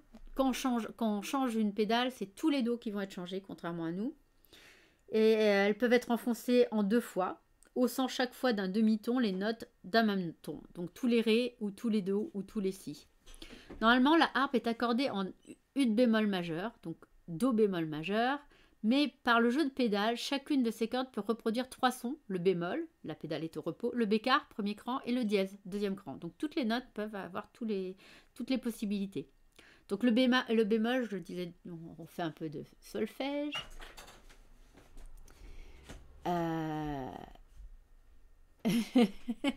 c'est un dollar que je viens de voir apparaître. Euh, la, harpe, donc, euh, je sais plus ce que je voulais dire. Du coup, ce, dollar m'a troublé. C'est pour dire que c'est très cher les harpes euh. Oui, oui, bien sûr, c'est extrêmement cher. Euh, alors qu'une petite harpe euh, comme ça, euh, même à 36 ou même 38 cordes, 36 cordes boyau plus grandes même que celle-là, on, peut, on peut retrouver d'occasion à 800 par exemple, 800 euros. Et il faut savoir que un instrument, il prend plutôt de la valeur en vieillissant, donc n'hésitez pas à acheter des, instruments d'occasion s'ils sont pas abîmés, ils, ils peuvent sonner très très bien. Au contraire, ils ont pris de l'âge. Euh, contrairement aux autres choses, c'est pas des choses. Euh, les instruments prennent plutôt euh, vieillissent plutôt bien normalement. s'ils ont été bien en- entreposés, évidemment, s'ils n'ont pas eu des, des chocs thermiques. Euh, Les harpes peuvent subir des chocs thermiques qui peuvent fendre la, qui peuvent fendre la table, faire des micro-fissures, et donc, bon, bah, euh, elles sont plus, euh, elles sont plus viables. Après, j'en ai déjà rencontré comme ça. Bon, bah, les cordes tiennent pas, euh, ça désaccorde sans arrêt, on peut plus jouer, euh, c'est fendu. Euh. Donc là, on peut jouer tous les sons. Donc, je, oui, le, solfège bémol, c'est qu'on abaisse, donc la, la- on abaisse la hauteur de la note. Par exemple, si on a ici, euh, on, a, on a par exemple un Ré, et si on fait un Do dièse, voilà, ça va baisser. Donc c'est une certaine hauteur du son. C'est un des paramètres du son, la hauteur. Et voilà, il y a un demi-ton de différence en descendant. Et puis, euh, comme je vous l'ai fait tout à l'heure, Do, Do dièse. Donc, euh, le dièse, c'est quand ça monte, et le bémol, c'est quand le son descend. Donc, jusqu'au XVIIIe siècle, l'emploi de la harpe en orchestre est rare. Suite Debussy, Ravel, etc. Donc, dans ce petit livre, euh, voilà ce qu'ils en disent. Euh, on va quand même écouter. euh, Qu'est-ce que j'avais prévu d'écouter dans nos. Ici. Justement, la harpe, comment ça marche? Voilà la petite vidéo. Hop. C'est pas cette dame qui. Les personnes dans le Voilà. public, euh, à la fin du concert, s'approchent de l'un.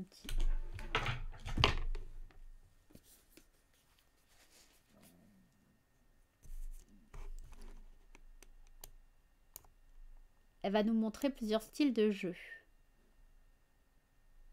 Bon, elle parle au début de son histoire euh, et de comment ça marche justement là un peu euh, l'instrument.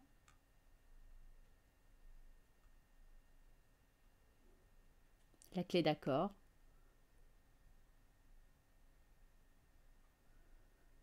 Ah, peut-être elle va mieux nous montrer que ce que j'ai pu montrer. De l'autre côté de la, la console, on détend et on tend la corde pour que ce soit juste. Ouais, elle dit à peu près la même chose que moi. On peut aussi utiliser euh, la harpe comme une percussion et du coup, bah, on peut même jouer du jazz à la harpe.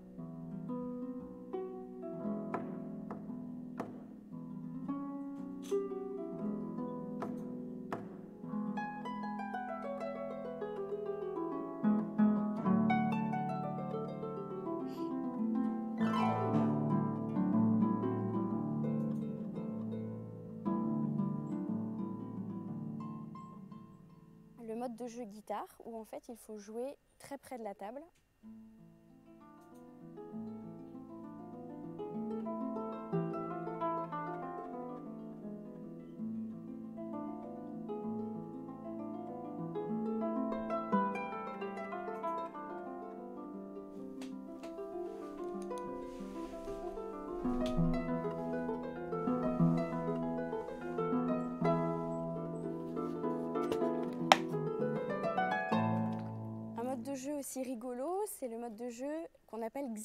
Ça consiste à étouffer d'une main les cordes et à jouer de l'autre.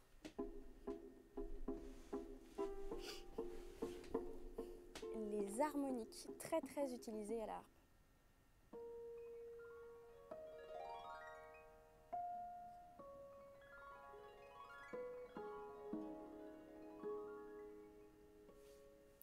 Alors, voilà La notre ami. Commence Euh, C'était très bien son explication, c'est pour ça que je vous l'ai mis. Après, elle parle beaucoup, de l'instrument. Je vais vous mettre le lien. Euh, je l'ai ici parce que euh, c'était vraiment. Comment elle s'appelle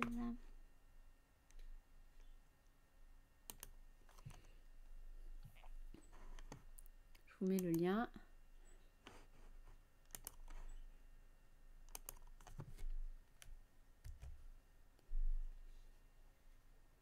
Euh, du bureau.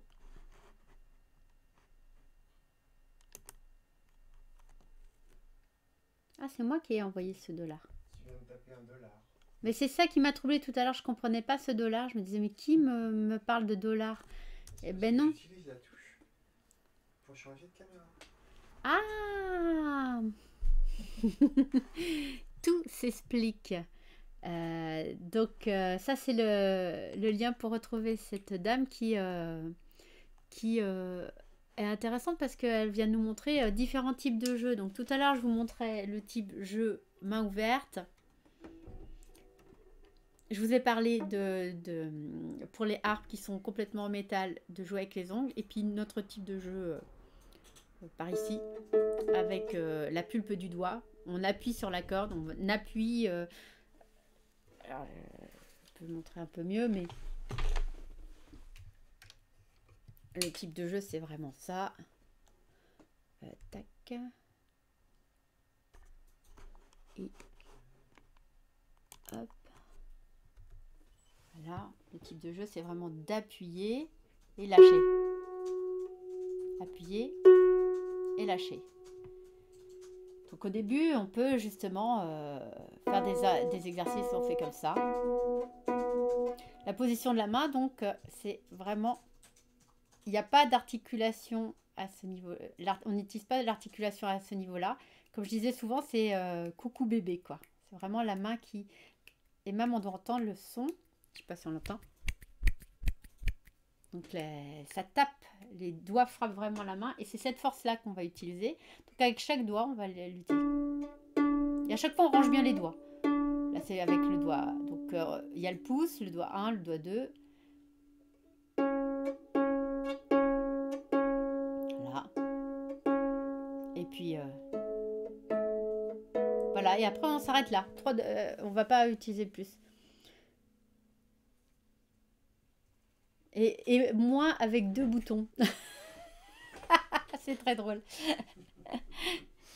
Donc comme je disais tout à l'heure, et comme, comme l'a dit la dame, on peut faire des harmoniques. Donc on va, elle, elle le faisait euh, avec le plat de la main, euh, traditionnellement, si on va avoir un apprentissage vraiment dans les normes, mais c'est pas, pas mon cas. Euh, avec la main gauche, on va arrêter le son avec le, le plat de la, le côté de la main, c'est pas le plat de la main. Mais euh, moi, je l'utilise que avec, le, avec euh, cette partie-là de, de mon... Ah, ça y est, j'ai encore une mouche qui est prise dans mes cheveux. Avec cette partie-là de mon doigt, je, je- j'appuie sur la corde, là, vous voyez C'est posé dessus et je lance. Et j'ai un son harmonique. Ça, c'est le son normal. Son harmonique. Donc, comme je vous ai dit, c'est donc l'équivalent de l'octave du dessus. Oui, non, j'étais pas au bon, j'étais pas au milieu.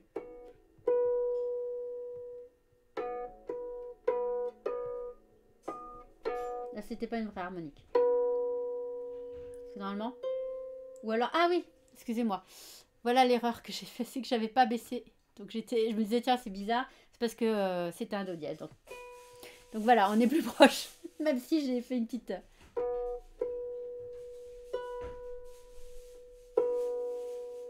Donc c'est une technique qui s'apprend, qui n'est pas très compliquée à apprendre.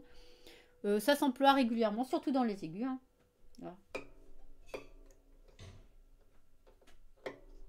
Ah, voilà, on l'a entendu. Voilà, là on l'a entendu. Alors, euh, un des trucs qui est pas très sympa, c'est qu'il faut réapprendre à chaque fois que on a un nouvel instrument. Comme quoi, c'est pas vraiment mathématique, c'est que ch- sur chaque instrument, ça va pas être tout à fait au même endroit, parce que ici, il peut y avoir plus de place, par exemple, euh, la corde peut être plus longue, enfin, on peut voir ce genre de, euh, de questions. Donc, euh, ici, on a la table d'harmonie, donc c'est ce qui va résonner. hein. Ici, je vous ai montré tout à l'heure euh, avec de la lumière. Je vais reprendre d'ailleurs ma lumière qui n'était pas faite pour ça, mais qui est bien pratique. Voilà. On est donc à l'intérieur de la harpe. Donc ça, c'est la, c'est ce qui va résonner. C'est la console euh, qui va résonner. Donc euh, quand on a une harpe d'étude, souvent elle est aplatie ici. Quand une, une, harpe, une harpe de concert, ça va être plutôt arrondi. Ça sonnera, ça sonnera mieux. Ça résonne plus. hein. Donc cette partie-là est très très importante. Cette partie arrière de la harpe. D'ailleurs, vous avez remarqué que dans les premières harpes, c'est l'autre partie qui manquait, hein, le, pilier qui soutient tout ça. Donc, on a vu tout à l'heure qu'il y avait des chevilles, les leviers de demi-ton, des cordes rouges, des cordes noires ou bleues. Donc, rouge, c'est dos. Et on n'a pas répondu à notre question tout à l'heure. On a commencé quelque chose qu'on n'a pas fini. C'était euh, de se dire euh, qu'on n'était pas en Do majeur. Ces harpes, ces petites harpes euh, portatives là, sont en mi bémol majeur. Donc euh, ça c'est, euh, si on le sait pas, on peut le découvrir. C'est-à-dire qu'on peut chercher jusqu'à ce qu'on reconnaisse notre gamme. Donc tout à l'heure on avait fait do ré mi fa sol la si do sur notre harpe et on reconnaissait pas, on reconnaissait pas ce qu'on aurait sur un piano. Il y a un truc qui va pas. Il y a des choses, c'est pas ça. Alors on peut essayer le ré. On voit que c'est toujours pas ça. Et on découvre que c'est ça. On découvre assez vite parce que c'est la troisième note. Donc c'est le mi. Euh, donc mi, euh, mi bémol majeur, puisque donc euh, ici c'est bien un bémol. la- Et donc pour re- retrouver une, une gamme de Do majeur, allez, on est sur notre petit côté solfège, si vous avez suivi l'autre fois, on y reviendra. Donc il nous faut un ton, euh, il nous faut un ton, donc euh, doré. On a l'impression qu'on l'a. Do, ré, ré, mi. Ça a l'air d'aller. Ah, si on le fait dans la suite. Sent qu'on serait mieux à faire ça. Do, ré, mi, fa. Je refais comme c'était au départ. Je monte le mi. Et c'est là qu'on découvre qu'on avait un mi bémol, puisqu'on vient de monter le levier de demi-ton et on, euh, on entend bien un mi. Donc on se dit, ah, on était en mi. Et on continue, do, ré, mi, fa. Mi, fa, sol. On a l'impression qu'on reconnaît. À part que l'harpe, et il faudra que je la réaccorde tout à l'heure. Ça a l'air de marcher. Oh. Sol, la. On voit bien que c'est pas do, ré, mi, fa, sol, la comme on connaît. Donc on va monter aussi cela pour obtenir.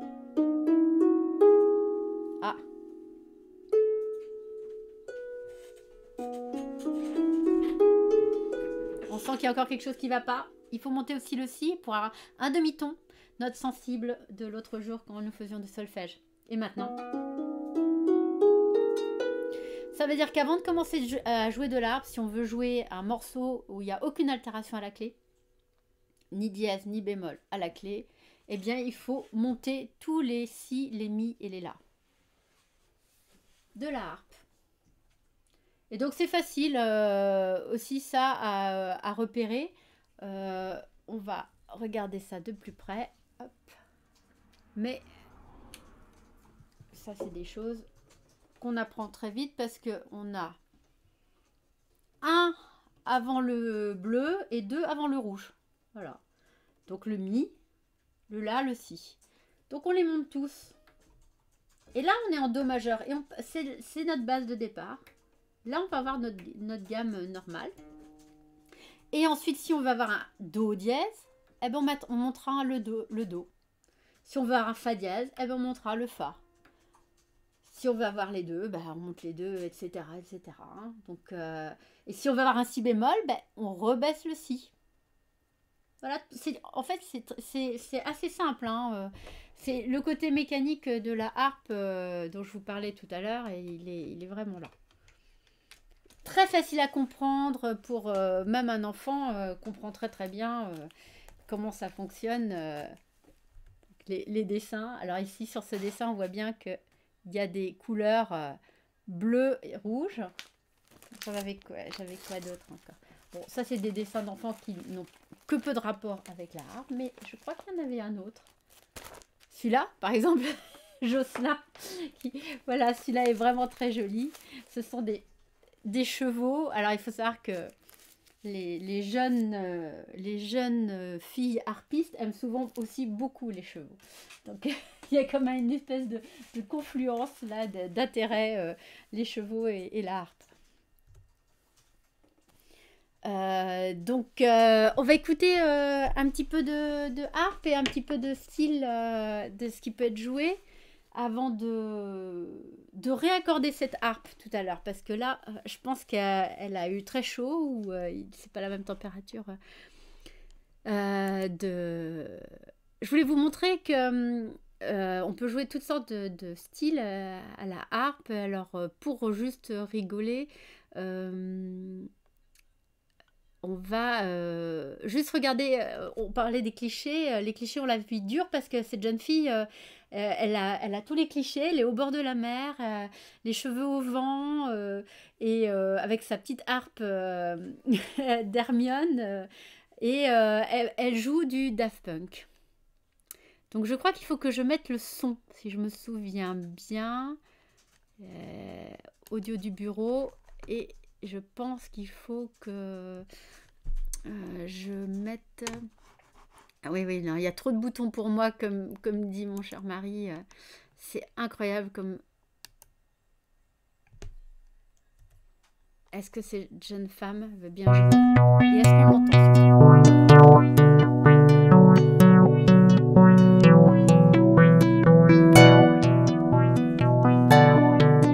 Ah, le début, excusez-moi.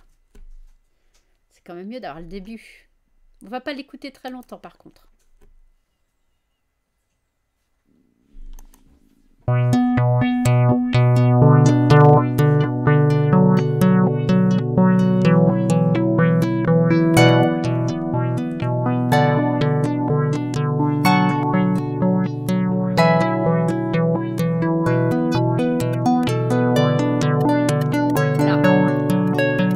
Alors, atmosphère, euh, atmosphère euh, celtique, là pour le coup, euh, euh, assez, assez prononcée, mais avec un, style euh, qui, qui, qui essaye d'y échapper, qui essaye. hein. Euh, la musique, euh, on peut avoir aussi euh, un petit peu de... Donc on a écouté de la musique du Venezuela. Euh, J'avais aussi... Tout à l'heure, nous avions vu euh, cette petite harpe, euh, euh, la harpe à travers les âges. Ah bah elle était déjà là. Ah non, c'était pas la même.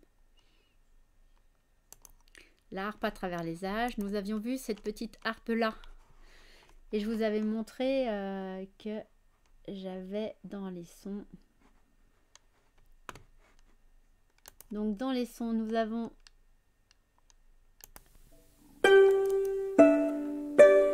Si nous l'entendons.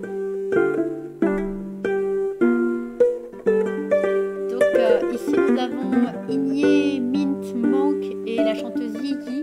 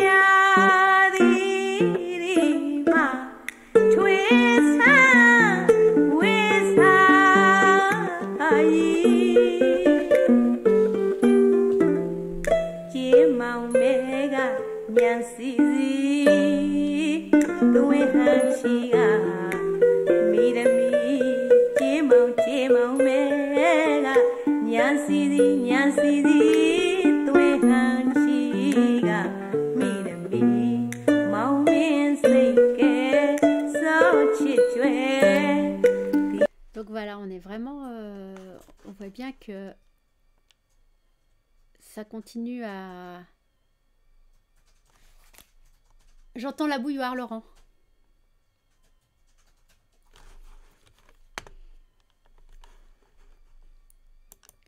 Laurent, j'entends la bouilloire. La bouilloire. Voilà, dans notre histoire de la harpe. Donc voilà, vous voyez ici la harpe à pédale qui apparaît. Là, Gustave Lyon invente la harpe chromatique à cordes croisées, donc c'est celle que nous avons vue tout à l'heure. hein. On finit par cette harpe à pédale. Enfin, on finit. On voit que les autres euh, survivent. hein. Ça, c'est très proche de ce qu'on a maintenant. Donc, il y a aussi une harpe qui s'appelle Simple Mouvement où euh, euh, donc les facteurs tyroliens fixent des crochets en haut des cordes. Vous voyez, là ils disent tyroliens, donc on est loin des. je pense que c'est pas très celte. donc ça c'est exactement la harpe de la marque Kamak. hein, elle a cette forme-là. Euh, la harpe Kamak euh, classique, euh, je crois que celle-là c'est la Mélusine, celle qui, a, qui celle-là c'est la Corrigan. On est vraiment dans un univers euh, de fées et de, folklore. Celle-là est très bien, j'en ai eu une comme ça, avec des, des cordes en nylon. Et ben, la petite fille, elle a même, on lui a mis, moi je mettais plutôt un, siège plus bas, bon, c'est c'est mieux. Oui, parce que quand on joue de la harpe, ce qui est bien, c'est on la pose sur l'épaule, hein, et c'est bien que le nez arrive à la hauteur, de, à la hauteur des, premiers, des premiers leviers. Là, ça, on est dans la bonne position. Merci Laurent euh, pour ce café. Euh, on est dans la bonne position pour jouer quand on est à, cette hauteur-là. Donc l'instrument se prend à bras le corps. En général, on fait l'accompagnement de la main gauche et la mélodie de la main droite, mais il n'y a, enfin moi je trouve qu'il n'y a pas de règle. On peut vraiment, euh, par exemple, s'accompagner de la main gauche et chanter, hein, euh, comme avec euh, un luth. On peut également jouer une petite mélodie à la main, à la main droite euh, tranquillement et même jouer la même à la main droite que la main gauche. D'ailleurs, c'est ce qu'on va sans doute faire tout à l'heure. On peut aussi faire des notes très simples à la main gauche ou des accords très complexes comme on le ferait au piano. On peut décliner ça de, plein de façons. Et, les styles sont aussi variés que, que rigolos. Donc, si on a ici, on avait euh, par exemple, on peut écouter euh, du Berriot. Alors, est-ce que là je suis, je suis dessus?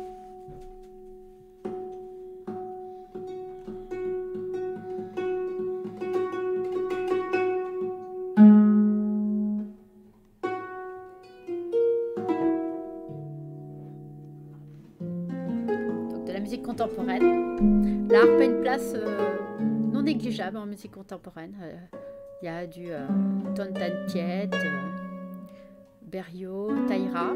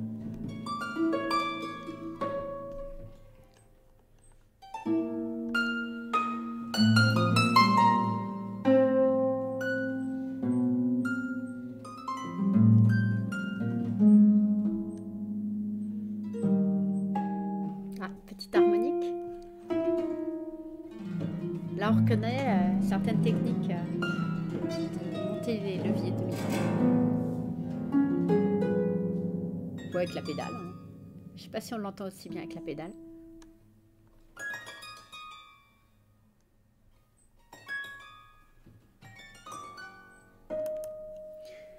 Et puis, euh, je regarde.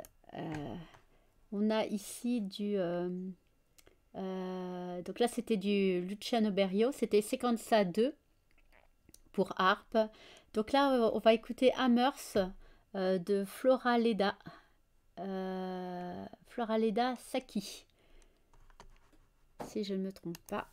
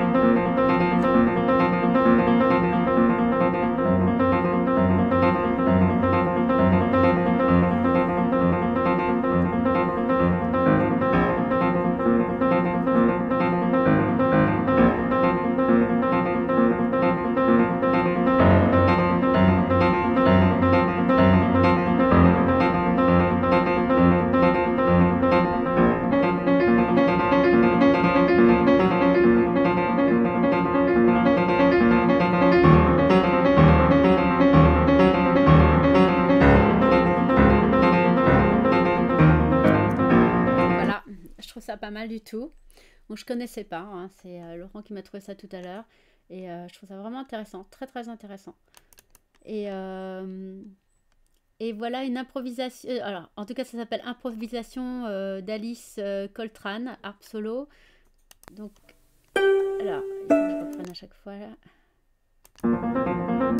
Voilà, c'est ici.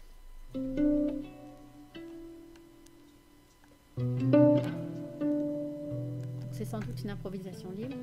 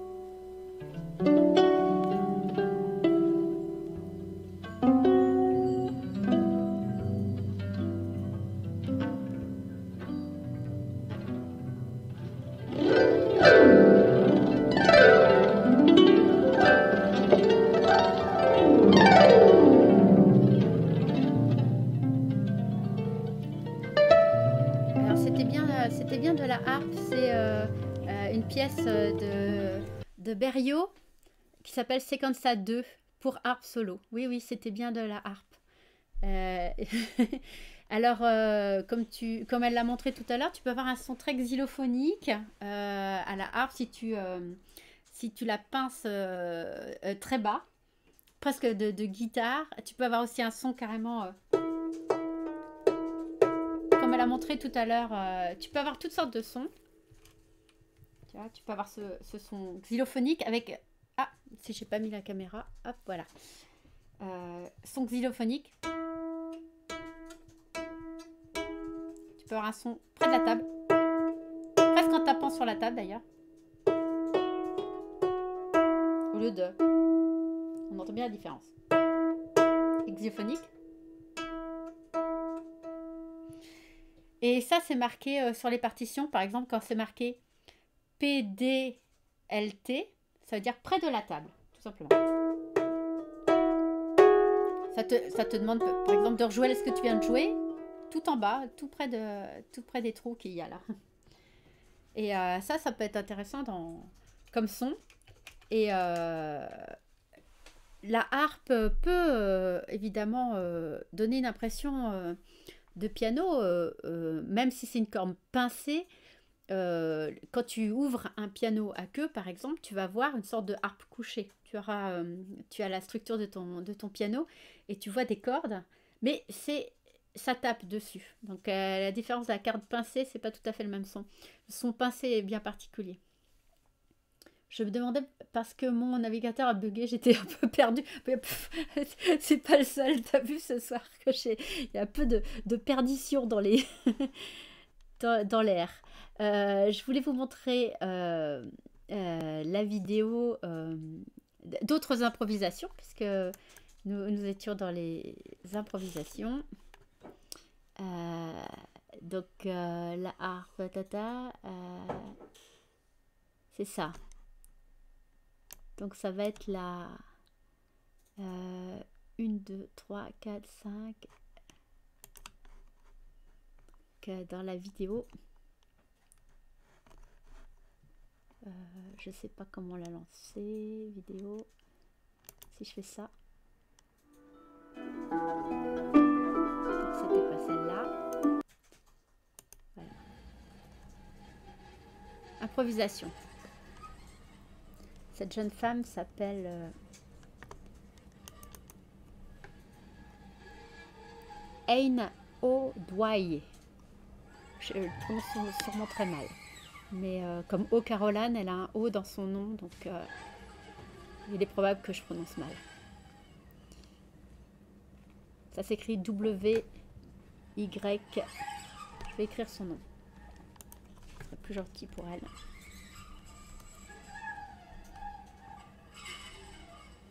Ah, comment ça s'écrit? D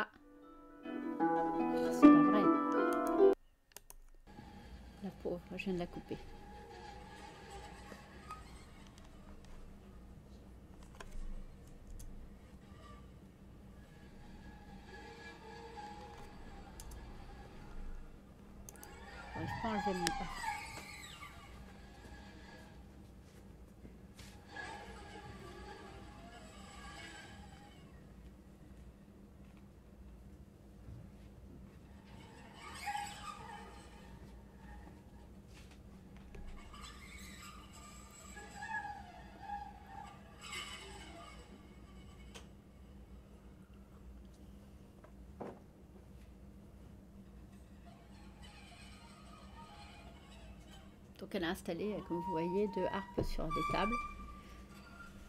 Donc elle s'allonge pas par terre avec l'arc sur elle, mais elle a mis des gants euh, sur sa main gauche, donc je pense que le mappa, exactement. Tout à l'heure, quand je l'ai vu, euh, Laurent, j'ai pensé à la même chose. Je me suis dit, euh, c'était une excellente idée. Moi, je le fais avec du tissu et c'est souvent compliqué. Tu sais jamais si l'harmonique va sortir quand je fais euh, ce genre d'improvisation. Avec une seule harpe, c'est déjà assez.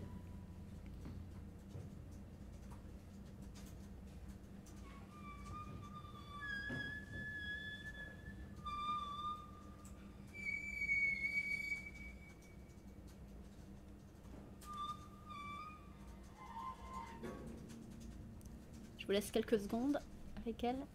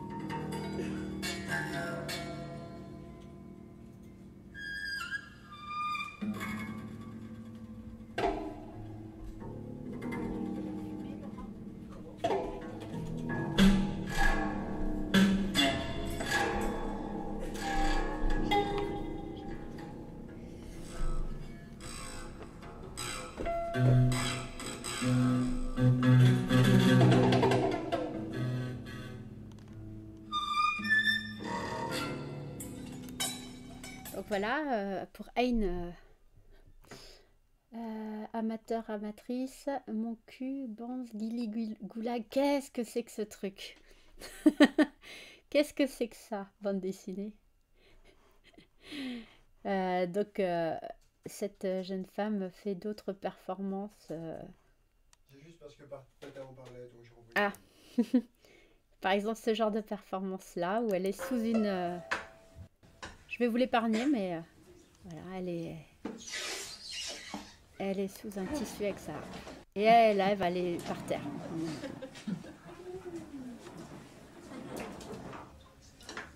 A un côté très théâtral. Au niveau sonore, je sais pas.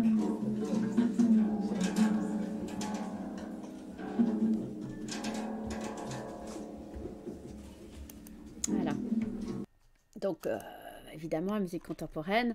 Euh, sur, euh, sur YouTube, je vous ai trouvé euh, Denise Mé- Mégevant, qui est donc très connue des harpistes, car c'est elle qui a la collection, une des collections les, plus, les plus intéressantes. Je vous montrerai deux, trois partitions tout à l'heure. Une des collections les plus in- intéressantes, c'est elle qui l'a je me demande si c'est pas celle-là. Voilà.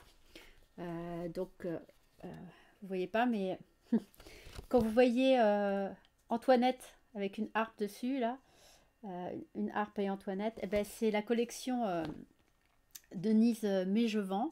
Et en effet, il y a, de la musique contemporaine, mais pas que. Et en général, c'est très très bien. C'est du rock, XP, prog, jazz, folk, avec de la harpe. Ah, vous êtes euh, coquin. Donc, euh, je vous en mets un tout petit peu. Je ne sais pas si c'est bien ou pas. J'ai j'ai écouté que quelques minutes.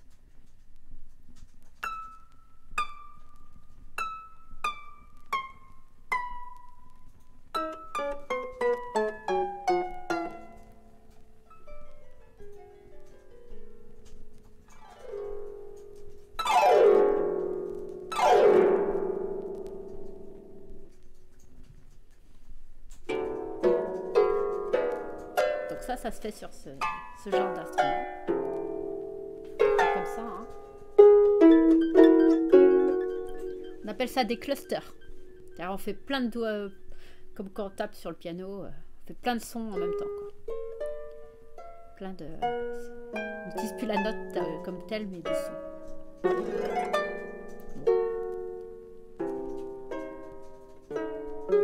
Voilà, c'était pour information. Si vous avez envie d'écouter euh, de la musique contemporaine euh, euh,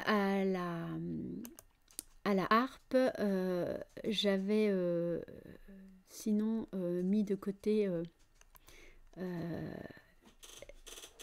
ici. Voilà. Les signes de l'arc, c'est une, c'est une euh, revue consacrée à la, harpe.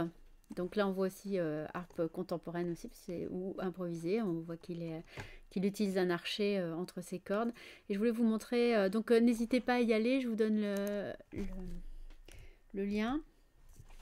En essayant de pas dans le même esprit que la pièce sous la housse, il y a My Harp the Filter. Oui, j'ai j'ai la partition, je vous l'ai pas mis parce que la partition c'est juste que ça consiste à passer des choses euh, à travers toutes sortes d'objets à travers la harpe et une fois qu'on les a passés une fois, il faut les repasser une deuxième fois. Donc il y a des A, A, B, B, A', B', c'est que des trucs mathématiques comme ça. Je vous l'ai épargné, euh, on se demande pourquoi. Euh, j'avais donc la, partition, mais elle n'est pas très intéressante à regarder. Je préférais vous montrer des. Puisqu'elle est juste descriptive.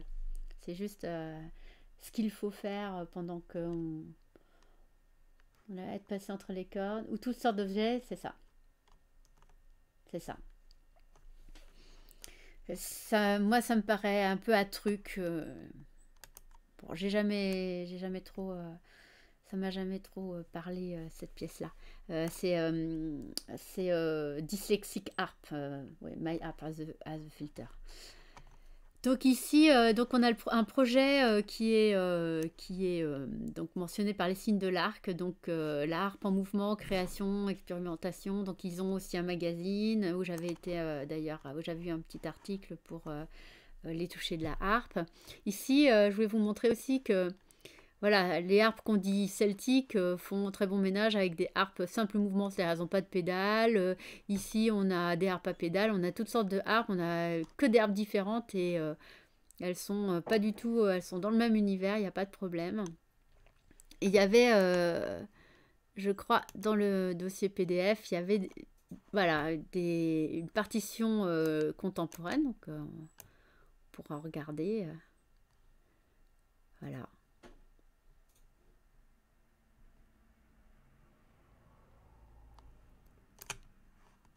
Les signes de l'arc. Donc, euh, je peux aussi vous mettre, euh, si la, revue vous intéresse. Donc, elle s'intéresse surtout à des choses. euh, Je connais pas du tout Guillonnet, il faut vraiment que je me penche sur ses œuvres. Ben, on revient d'un. Euh, Ligeti, mais j'ai oublié leur nom, d'accord. Ah, le, le nom des pièces, ben, je les connais pas non plus, d'accord. Takemitsu, d'accord, je ne vois pas, mais peut-être qu'on peut chercher. Euh, Donc Jean-Luc Guillonnet vient de faire un... On, revient euh, depuis peu de jours euh, d'un festival, c'est son festival personnel qui dure 3-4 jours. donc nous, on n'y allait que 2 jours, mais je crois que ça durait 4 jours. qui est dans le Finistère, qui s'appelle Entre Lacs. Ou Entre là, enfin il y a un jeu de mots. et qui était vraiment très bien. Musica Ricercada. Ricercata rendu célèbre par Kubrick. Ah, d'accord. Ok. Je vois, je vois. Donc en parlant de harpe au présent, eh bien, euh, y avait, euh, je pouvais vous montrer aussi euh, les touchés de la harpe, donc ici, qui était un espace que j'avais créé il y a quelque temps, qui sert à la fois par des couleurs à repérer des objets. Je suis partie de comment improviser avec des objets. Euh, plutôt que de penser l'improvisation avec le geste ou avec le son, les penser avec euh, qu'est-ce qu'on peut faire comme son avec tel objet et les répertorier et, euh, et faire une espèce de lexique. Donc on peut comme ça poser du crin de cheval et mettre par exemple une petite pastille verte. là les papiers, les pinces à linge et on peut on peut décliner comme ça voilà un modèle de partition avec des signes euh, donc que j'avais euh, pas que des signes que j'ai inventés celui-là existe réellement. Ça c'est le vrai signe pour ça. Il existe euh, en, mu- en musique contemporaine pour harpe. Mais il y en a énormément que j'ai inventé. Et puis les couleurs disaient avec quel instrument fallait le faire. Donc on peut écouter les sons. Voilà on peut aller dessus. Et par exemple on peut écouter aiguille à tricoter pas si on l'entend. Alors, frottement vertical.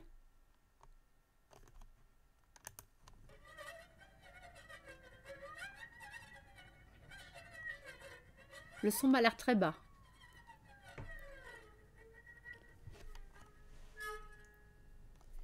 Qui a créé les touchés de la harpe?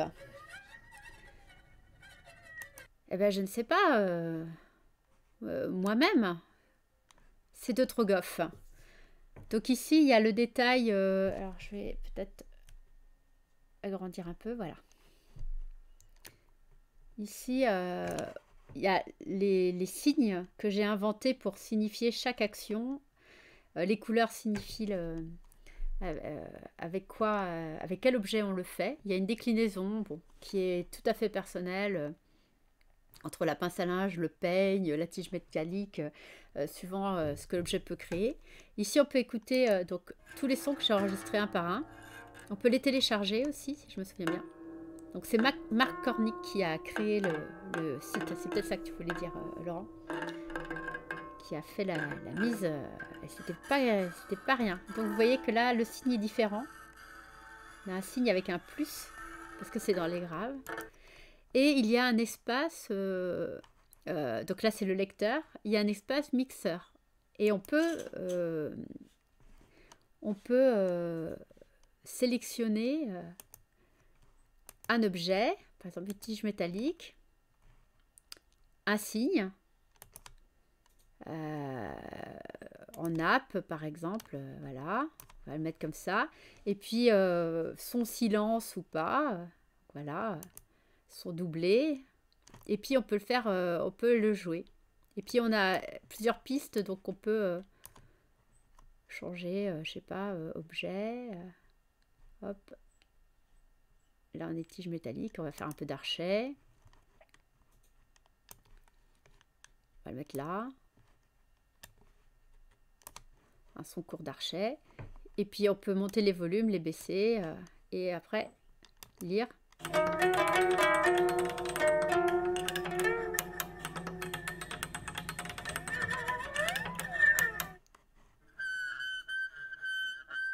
Faire en boucle ou pas. Voilà. Donc euh, c'est vraiment un outil euh, que j'avais pensé pour la composition, pour, euh, pour pouvoir composer en plusieurs pistes comme ça. Je ne sais pas du tout si les compositeurs sont en part. Et on peut après écrire les, les partitions grâce à ces signes et aussi s'y retrouver sur sa table avec les objets et leurs couleurs. Donc voilà, ça c'était la harpe euh, les toucher de la harpe. Donc c'est un projet que j'ai euh, qui m'a pris euh, un peu un peu de un peu de temps. Évidemment, tout ça peut se mixer à Et puis il y a des photos. Et puis voilà. Les OPTC. Objets pas très convaincants, qui font des sons, un couvercle de jus de fruits. l'intérieur de la harpe, voilà. Une hanche de clarinette.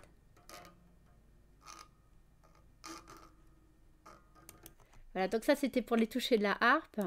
Et euh, euh, sinon, je voulais vous montrer Sainte Conversation de LL de Mars. Donc une partition écrite pour euh, harpe et voix. Donc sur l'idée de l'Annonciation, l'ange et Gabriel. L'aile de Mars pourra en parler mieux que nous.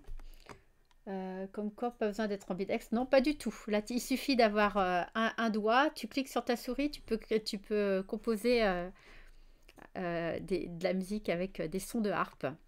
Donc voilà la, la partition qui est téléchargeable ici. Et on peut écouter également. voilà,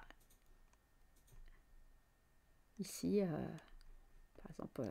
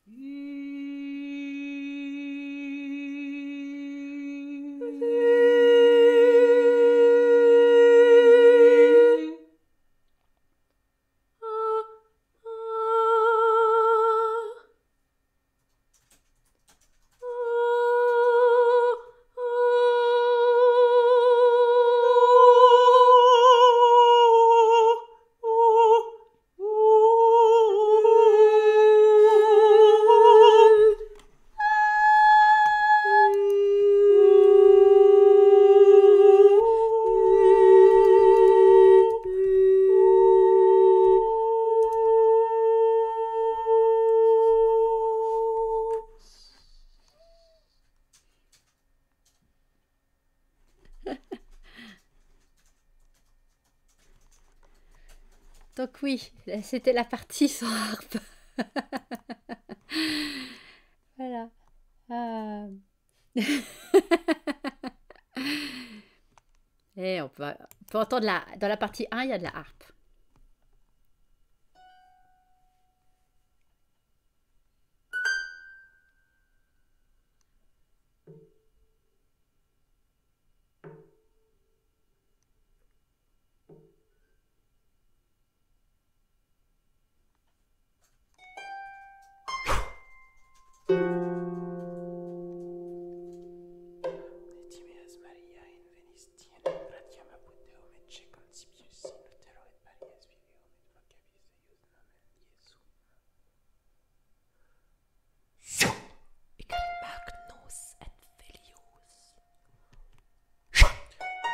Santissimias Maria in venisti. Veni, Santissimias vocabituas Mariae. Et debitiri est Dominus et debitavit Patris. Et debitiri Dominus Deus idem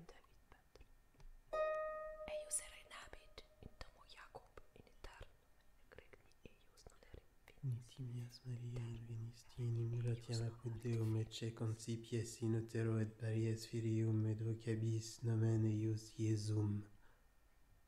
Oh.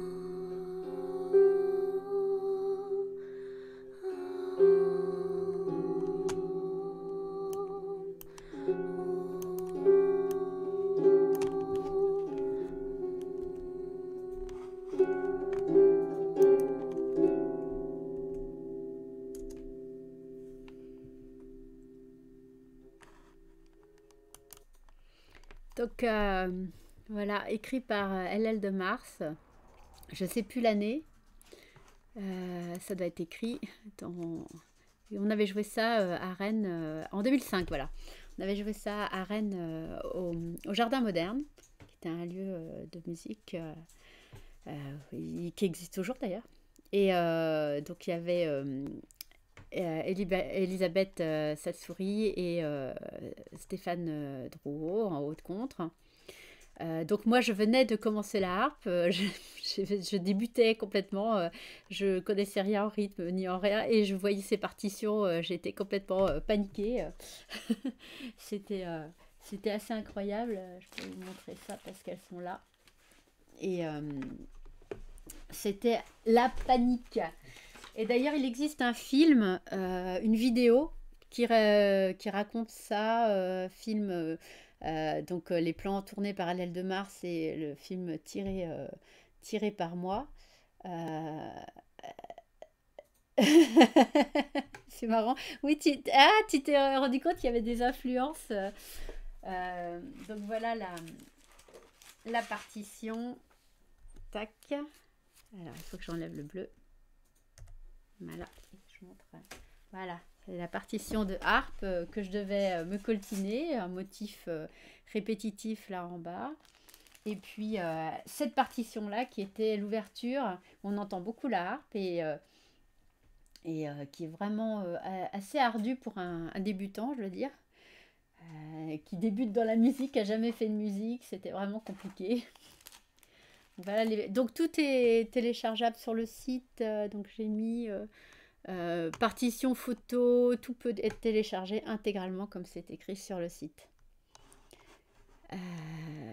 Eh bien, ce qui pourrait être sympa, c'est de voir ce qu'on peut faire comme, comme morceau. Donc, euh, une- un jour, une amie est venue ici et euh, m'a dit qu'elle connaissait rien à la musique. Je lui ai dit, bah, tu sais, je peux t'apprendre euh, trois morceaux euh, ou quatre morceaux en trois jours.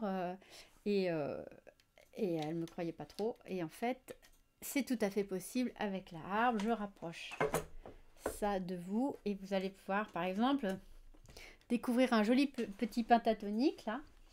Donc ça, c'est un morceau que j'avais eu quand j'avais fait un stage euh, autour de la musique euh, japonaise et euh, justement où ils expliquent les différents pentatoniques qui existent.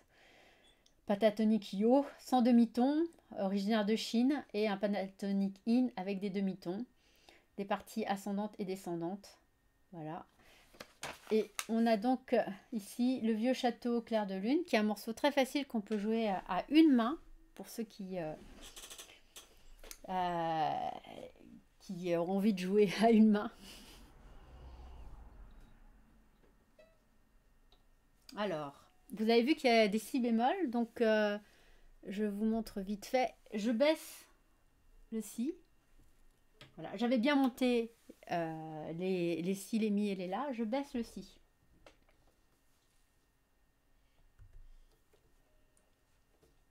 Donc ré, ré, sol, la, si, la, sol.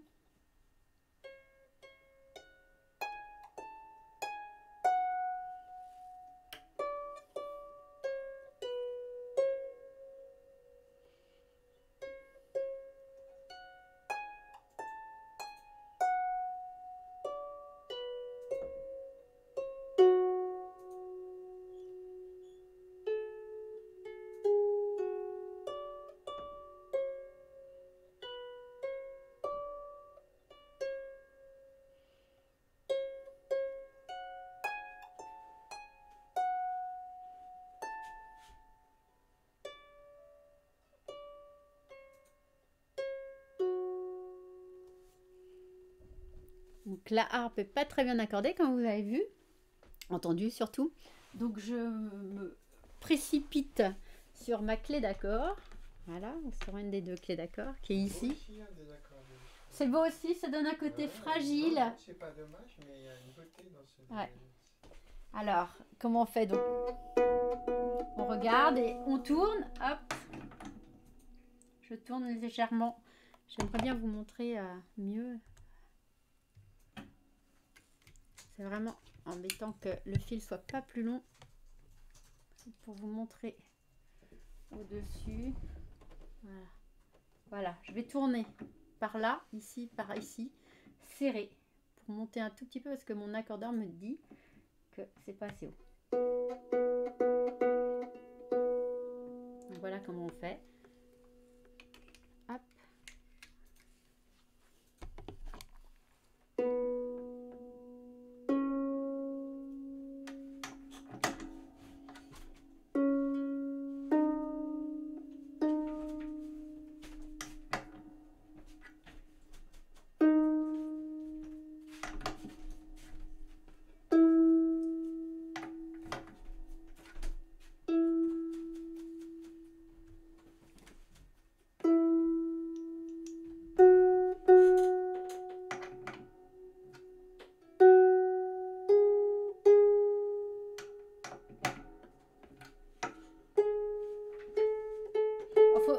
Faut- par habitude, il faut toujours serrer. hein. Ça, ça se distend toujours.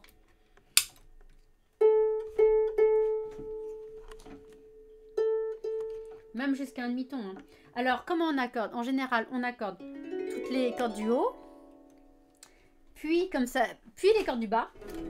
Mais une fois qu'on a accordé toutes les cordes du bas, toutes ces cordes euh, graves et qui sont très tendues et qui sont métalliques, et ben on peut recommencer à accorder les cordes du haut. Donc euh, il y a une blague entre harpistes, euh, c'est infini. On peut, on peut accorder toute la journée sa harpe, on peut passer sa vie à l'accorder si on a envie. Mais il y a la même blague avec les mandolines, il y a la même blague avec les luttes, enfin, je crois que c'est une blague plus générale que ça maintenant que je connais plus de musiciens et et d'instruments. Je sais que c'est une blague très commune de parler des, surtout des instruments anciens qui se désaccordent.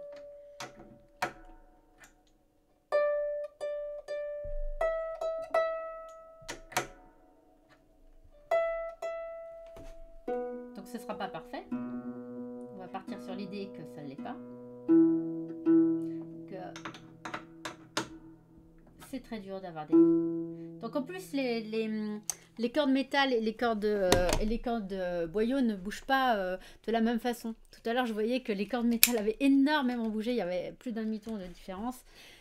Et les cordes boyaux avaient très peu bougé. Parce qu'elles doivent plus absorber l'humidité. Alors, donc on avait.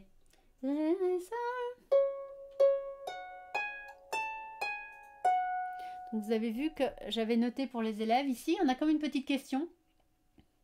Ré, sol, la, si, la, sol. Point d'interrogation. On répond pas. Mi, mi, ré, do, ré. Un silence. On repose la question. Ré, ré, sol, la, si, la, sol. Et on répond Mi, do, ré, ré, sol. Ensuite, on part sur autre chose. Si, si, la, sol, mi, mi, ré, do, ré, mi, mi, ré. Et on reprend le thème du début. Ré, ré, sol, la, si, la, sol. Si, si, do, ré, ré, sol. Donc, vous voyez, c'est très très simple. On peut jouer avec un doigt si on veut. J'ai joué avec deux. et euh, il suffit sur la, sur la harpe de lever les, les si, les mi et les la. Et ensuite de baisser les si et les mi, puisqu'on a vu que sur la partition c'était marqué si bémol et mi bémol pour avoir notre pentatonique. Euh, donc le pentatonique c'est un ensemble de cinq notes. Euh, la façon la plus facile pour s'en rendre compte, c'est de prendre un clavier, n'importe quel piano, et c'est les touches noires. Les touches noires du piano, c'est toujours, si vous faites pianoter sur votre piano les touches noires, vous verrez que vous aurez un, sentiment, euh, un sentiment chinois. C'est une gamme chinoise au départ et, euh, et qui ensuite a été, euh, a été adapté euh, par les Japonais, justement, qui ont. Qui l'ont fait bouger, mais qui ont gardé l'idée de pentatonique. C'est aussi une gamme qui est beaucoup em- employée en Afrique et, euh, et dans le jazz. on m'a dit, moi je connais très mal le jazz, on m'a dit qu'il y a souvent des pentatoniques. Donc euh, le pentatonique, c'est quatre notes, euh, cinq notes, pardon, penta, cinq notes, euh, fa, sol, la, doré, par exemple. Fa, sol, la, doré.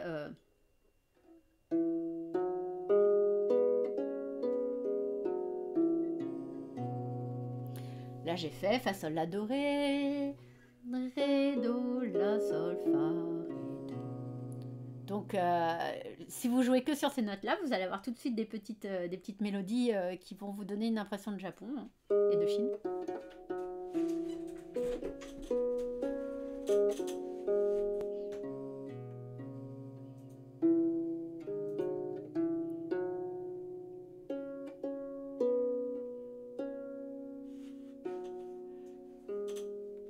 Sent qu'il y a quand même une note d'arrêt. On sent une note où on peut s'arrêter. euh. Donc, euh, Fa, un ton. Euh, fa, Sol, un ton. Sol, La, un ton. Mais entre le La et le Do, bah, il y a une tierce. Et entre le Do et le Ré, il y a, un ton. Donc, c'est complètement différent. Et donc, on- ici, on a la, même configuration, mais avec le Si et le Mi bémol. Alors, ce qu'on peut faire, c'est le faire à deux mains, par exemple.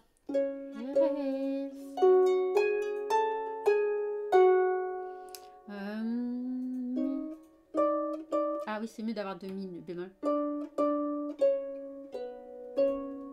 peut faire à deux mains comme ça.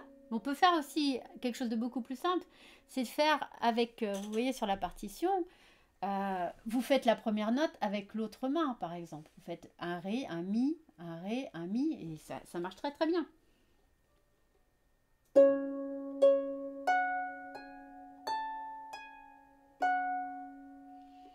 Par exemple, ça, ça marche. Commence sur mi.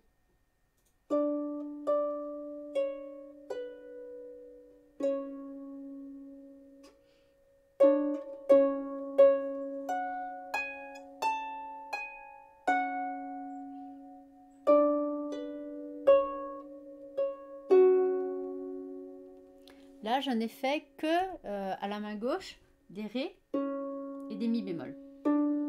J'ai fait. Là, ça commence à sur un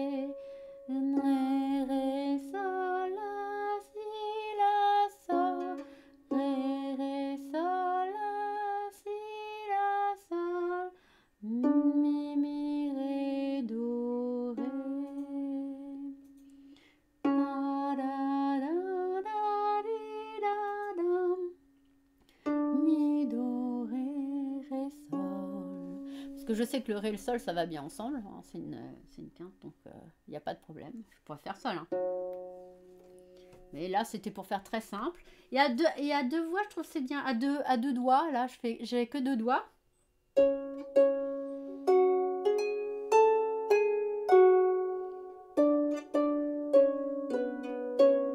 On peut faire aussi un peu plus haut, hein. Euh, Un peu plus haut ou un peu plus bas, si on a envie de. Pas que j'oublie de de faire.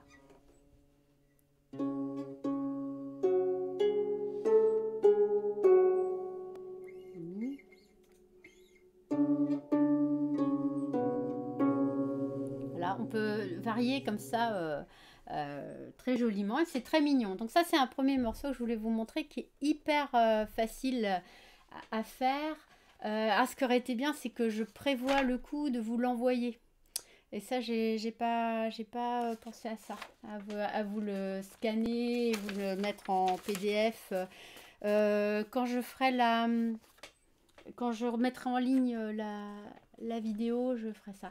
Ici, En commentaire, tu pourrais mettre ça Le lien dans en le commentaire, voilà, je pourrais mettre un, un lien pour où ce sera téléchargeable. Ici, c'est un morceau donc qui est censé être un très très vieux, une très vieille inscription qui était sur une tombe d'il y a 2000 ans. Euh, Ça, c'est pour le folklore parce que j'ai appris ça euh, dans un stage euh, euh, E- E- euh, Velia que vous allez trouver très simplement en, ligne. Euh, Elisa fait des stages, elle est grecque et donc euh, elle, fait, euh, travailler de la musique euh, euh, grecque, mais pas que, aussi euh, euh, des, des morceaux hébraïques, arméniens. euh, donc on est complètement euh, même si elle habite au cœur de la Bretagne, on est complètement dans des, euh, dans des sonorités euh, différentes. Et euh, je redis bien son nom puisqu'elle aime bien, elle, elle- est, elle est très attachée à ce que son, son nom soit, soit rattaché à ses morceaux. Là, le morceau, je ne sais pas s'il est vraiment d'elle, je, je ne sais plus. ce qu'elle avait dit, c'était le premier stage. Mais au cas où, en tout cas, sachez que ça vient d'un stage que j'ai fait avec elle.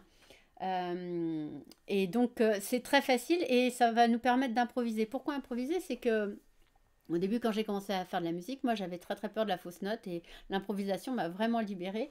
Et là, on est vraiment euh, dans une improvisation très très simple. Alors, on est dans une gamme qui s'appelle e-jazz, qui, qui contient des si bémol et des do dièse. Je relève mes mi, voilà, bémol et do dièse. Donc, ça va faire quelque chose comme ça. euh.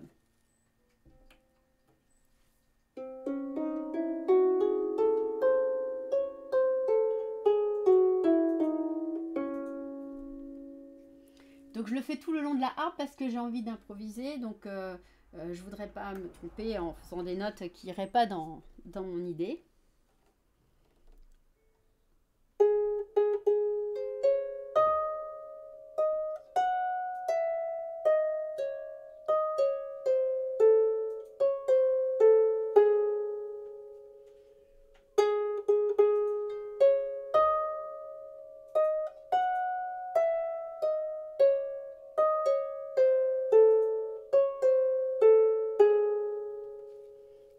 J'ai fait J'ai fait la la la do ré mi mi sol fa mi ré mi ré do si ré do si la. Donc c'est des notes qui se suivent complètement. La la la do ré mi. Vous pouvez le faire avec un autre instrument ou votre instrument euh, vocal. Sol, fa, mi, ré, mi, ré, do, si. Donc do dièse, si bémol, ré, do, si, la. Et pourquoi c'est bien pour improviser? C'est que, en fait, en fin de compte, on fait.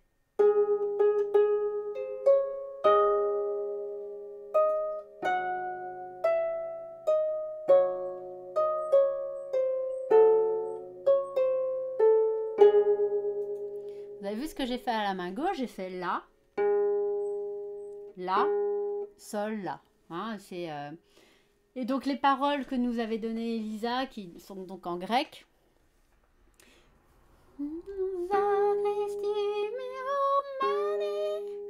Ah, je vais partir plus bas, excusez-moi.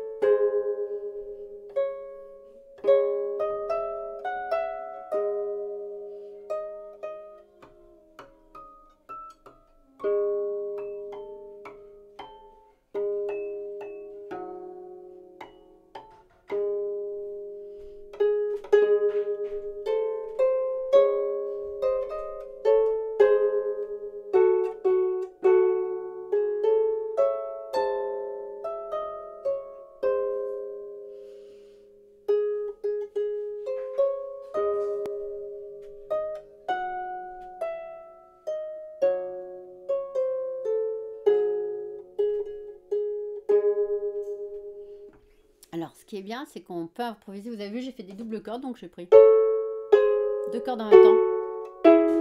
J'ai fait aussi un petit truc comme ça. Je vais vous montrer ça de près. Hop. Alors, en faisant des la, comme ça, vous pouvez prendre n'importe quel instrument. Hein. Ça marche pas que à l'art, mais à l'art, ça donne tout de suite un côté très ancien. donc, le petit truc comme ça, là. C'est juste euh, deux fois, je, je, pince deux fois, mais très rapidement. Mais très rapidement. Dans les aigus, c'est joli. Et là, avec le La en bas, le, La en cloche, comme ça. Donc le La, hein, il est juste entre la, la noire et la, et la rouge. hein. Donc on a une espèce d'ostinato comme ça. On peut même faire en bas. Ouyouyouyouyou. Ouyouyouyouyou.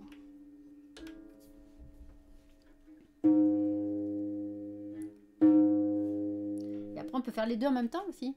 Ouais, je fais une octave. Comme ça.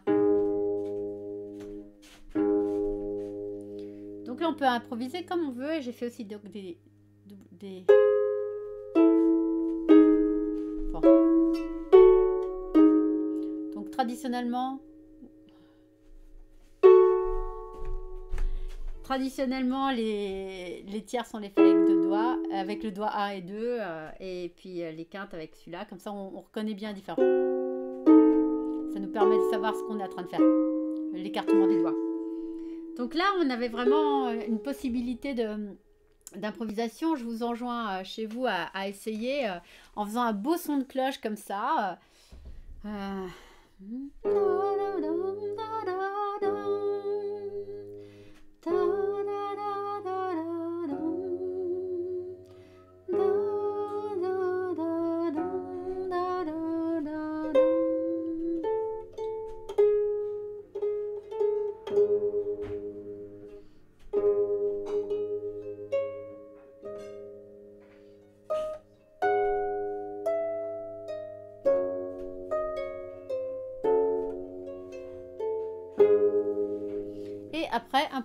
libre.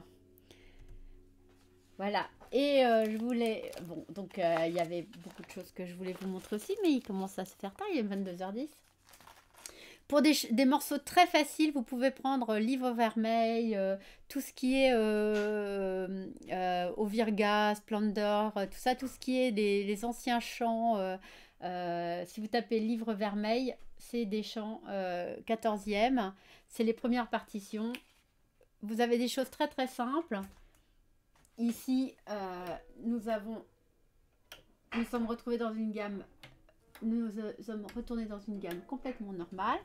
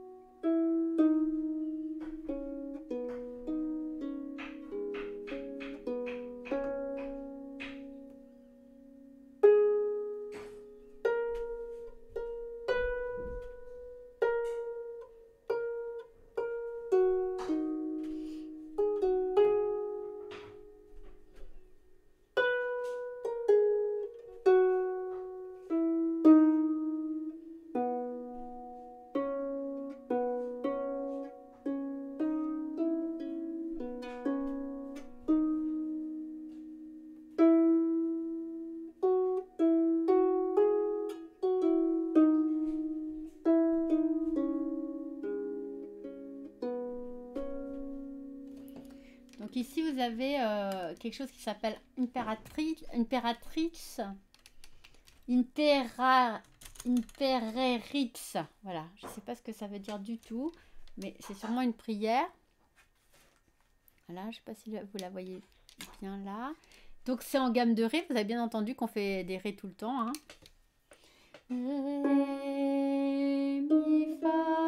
Ré, do.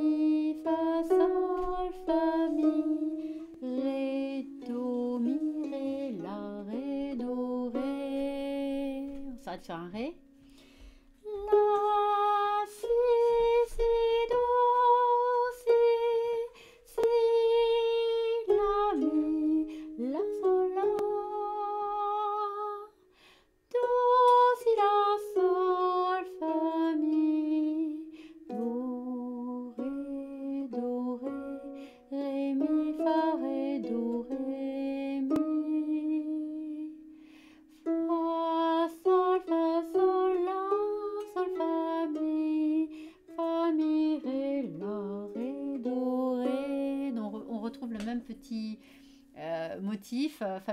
Et doré. Et donc on peut reprendre, on peut tourner en boucle euh, à la fin ici quand euh, la sol fa là, la sol la, la sol la. Euh, on peut reprendre de- au départ. On peut tourner en boucle à partir de là. Mi,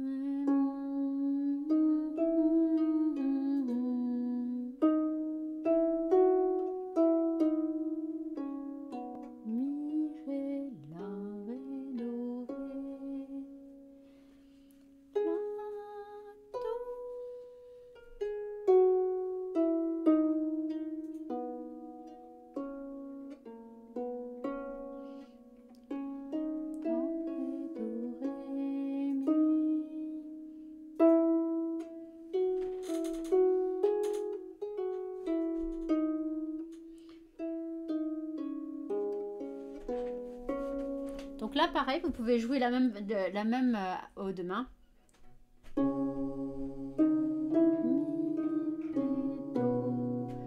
Soit vous faites les débuts, pareil, euh, le début de la mesure, on commence sur un ré, donc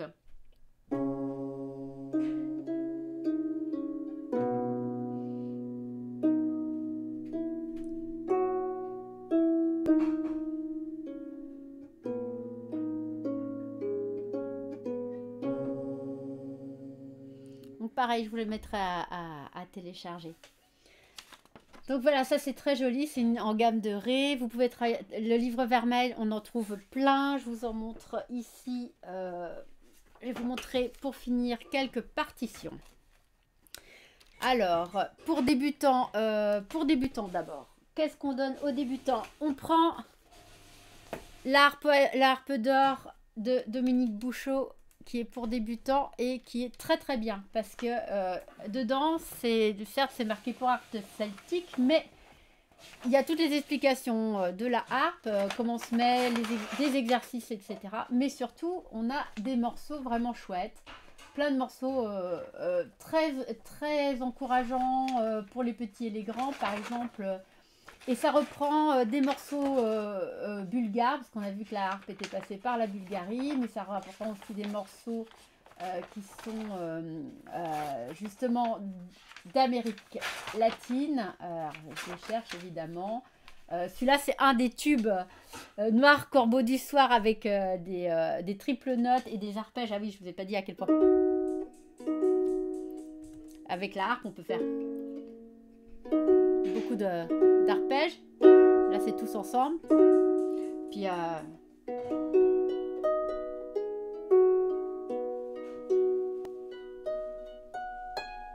on peut vraiment faire. euh, euh, et, les accords, bon, tout à l'heure, je vous disais le La, donc on peut faire deux notes, mais on peut après être tout compliqué. Hein. La Mi La.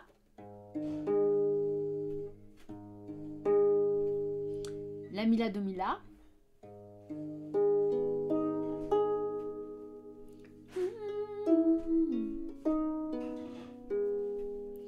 Donc souvent on fait euh, la mi.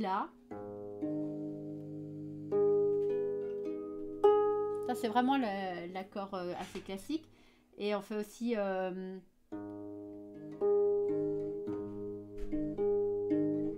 la.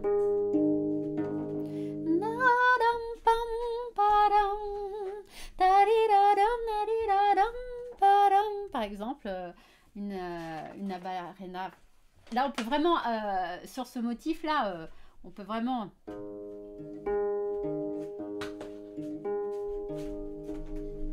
Et après, on fait...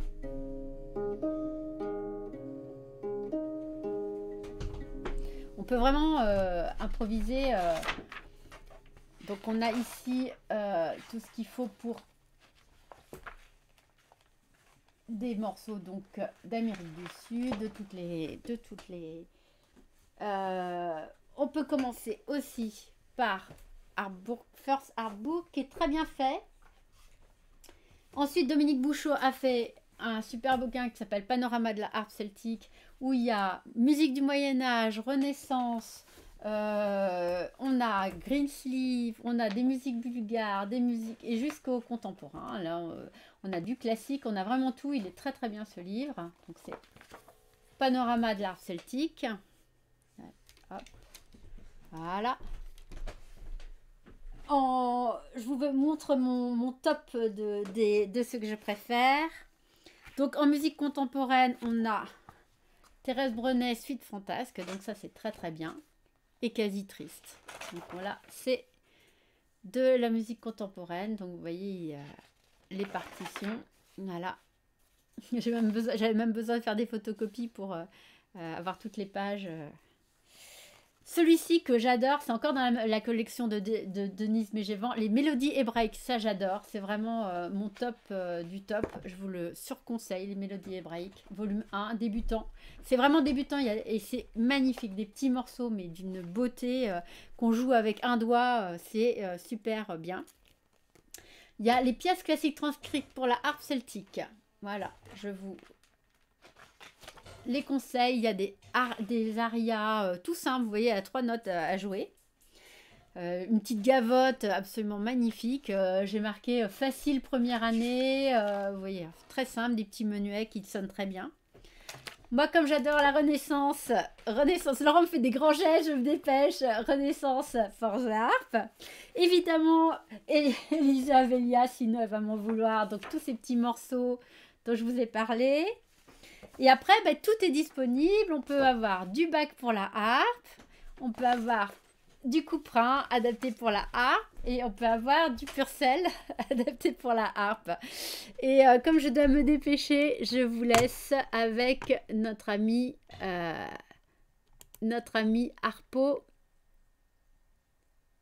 Voilà, et je fais comme ça, et je pense que vous... euh, Ah, le site est inaccessible, ça c'est pas sympa. Ça, c'est pas sympa. Ah, ça, c'est vraiment pas sympa. Juste pour finir. Alors, d'accord, ça marche pas. Euh, Est-ce que je l'ai quelque part en vidéo? Euh, Vidéo, est-ce qu'il est dans mes vidéos? Je ne crois pas que je l'avais mis dans mes vidéos. Oh, Harpo, je voulais finir. Hein? Non, Je, je l'ai mis. Il y est pas. Il y est. Ben, mets-le alors, parce que moi, je l'ai pas. Euh, je vais réessayer ici. Euh, Harpo, Rhapsodie hongroise et site inaccessible, alors que la- l'adresse était bien. euh.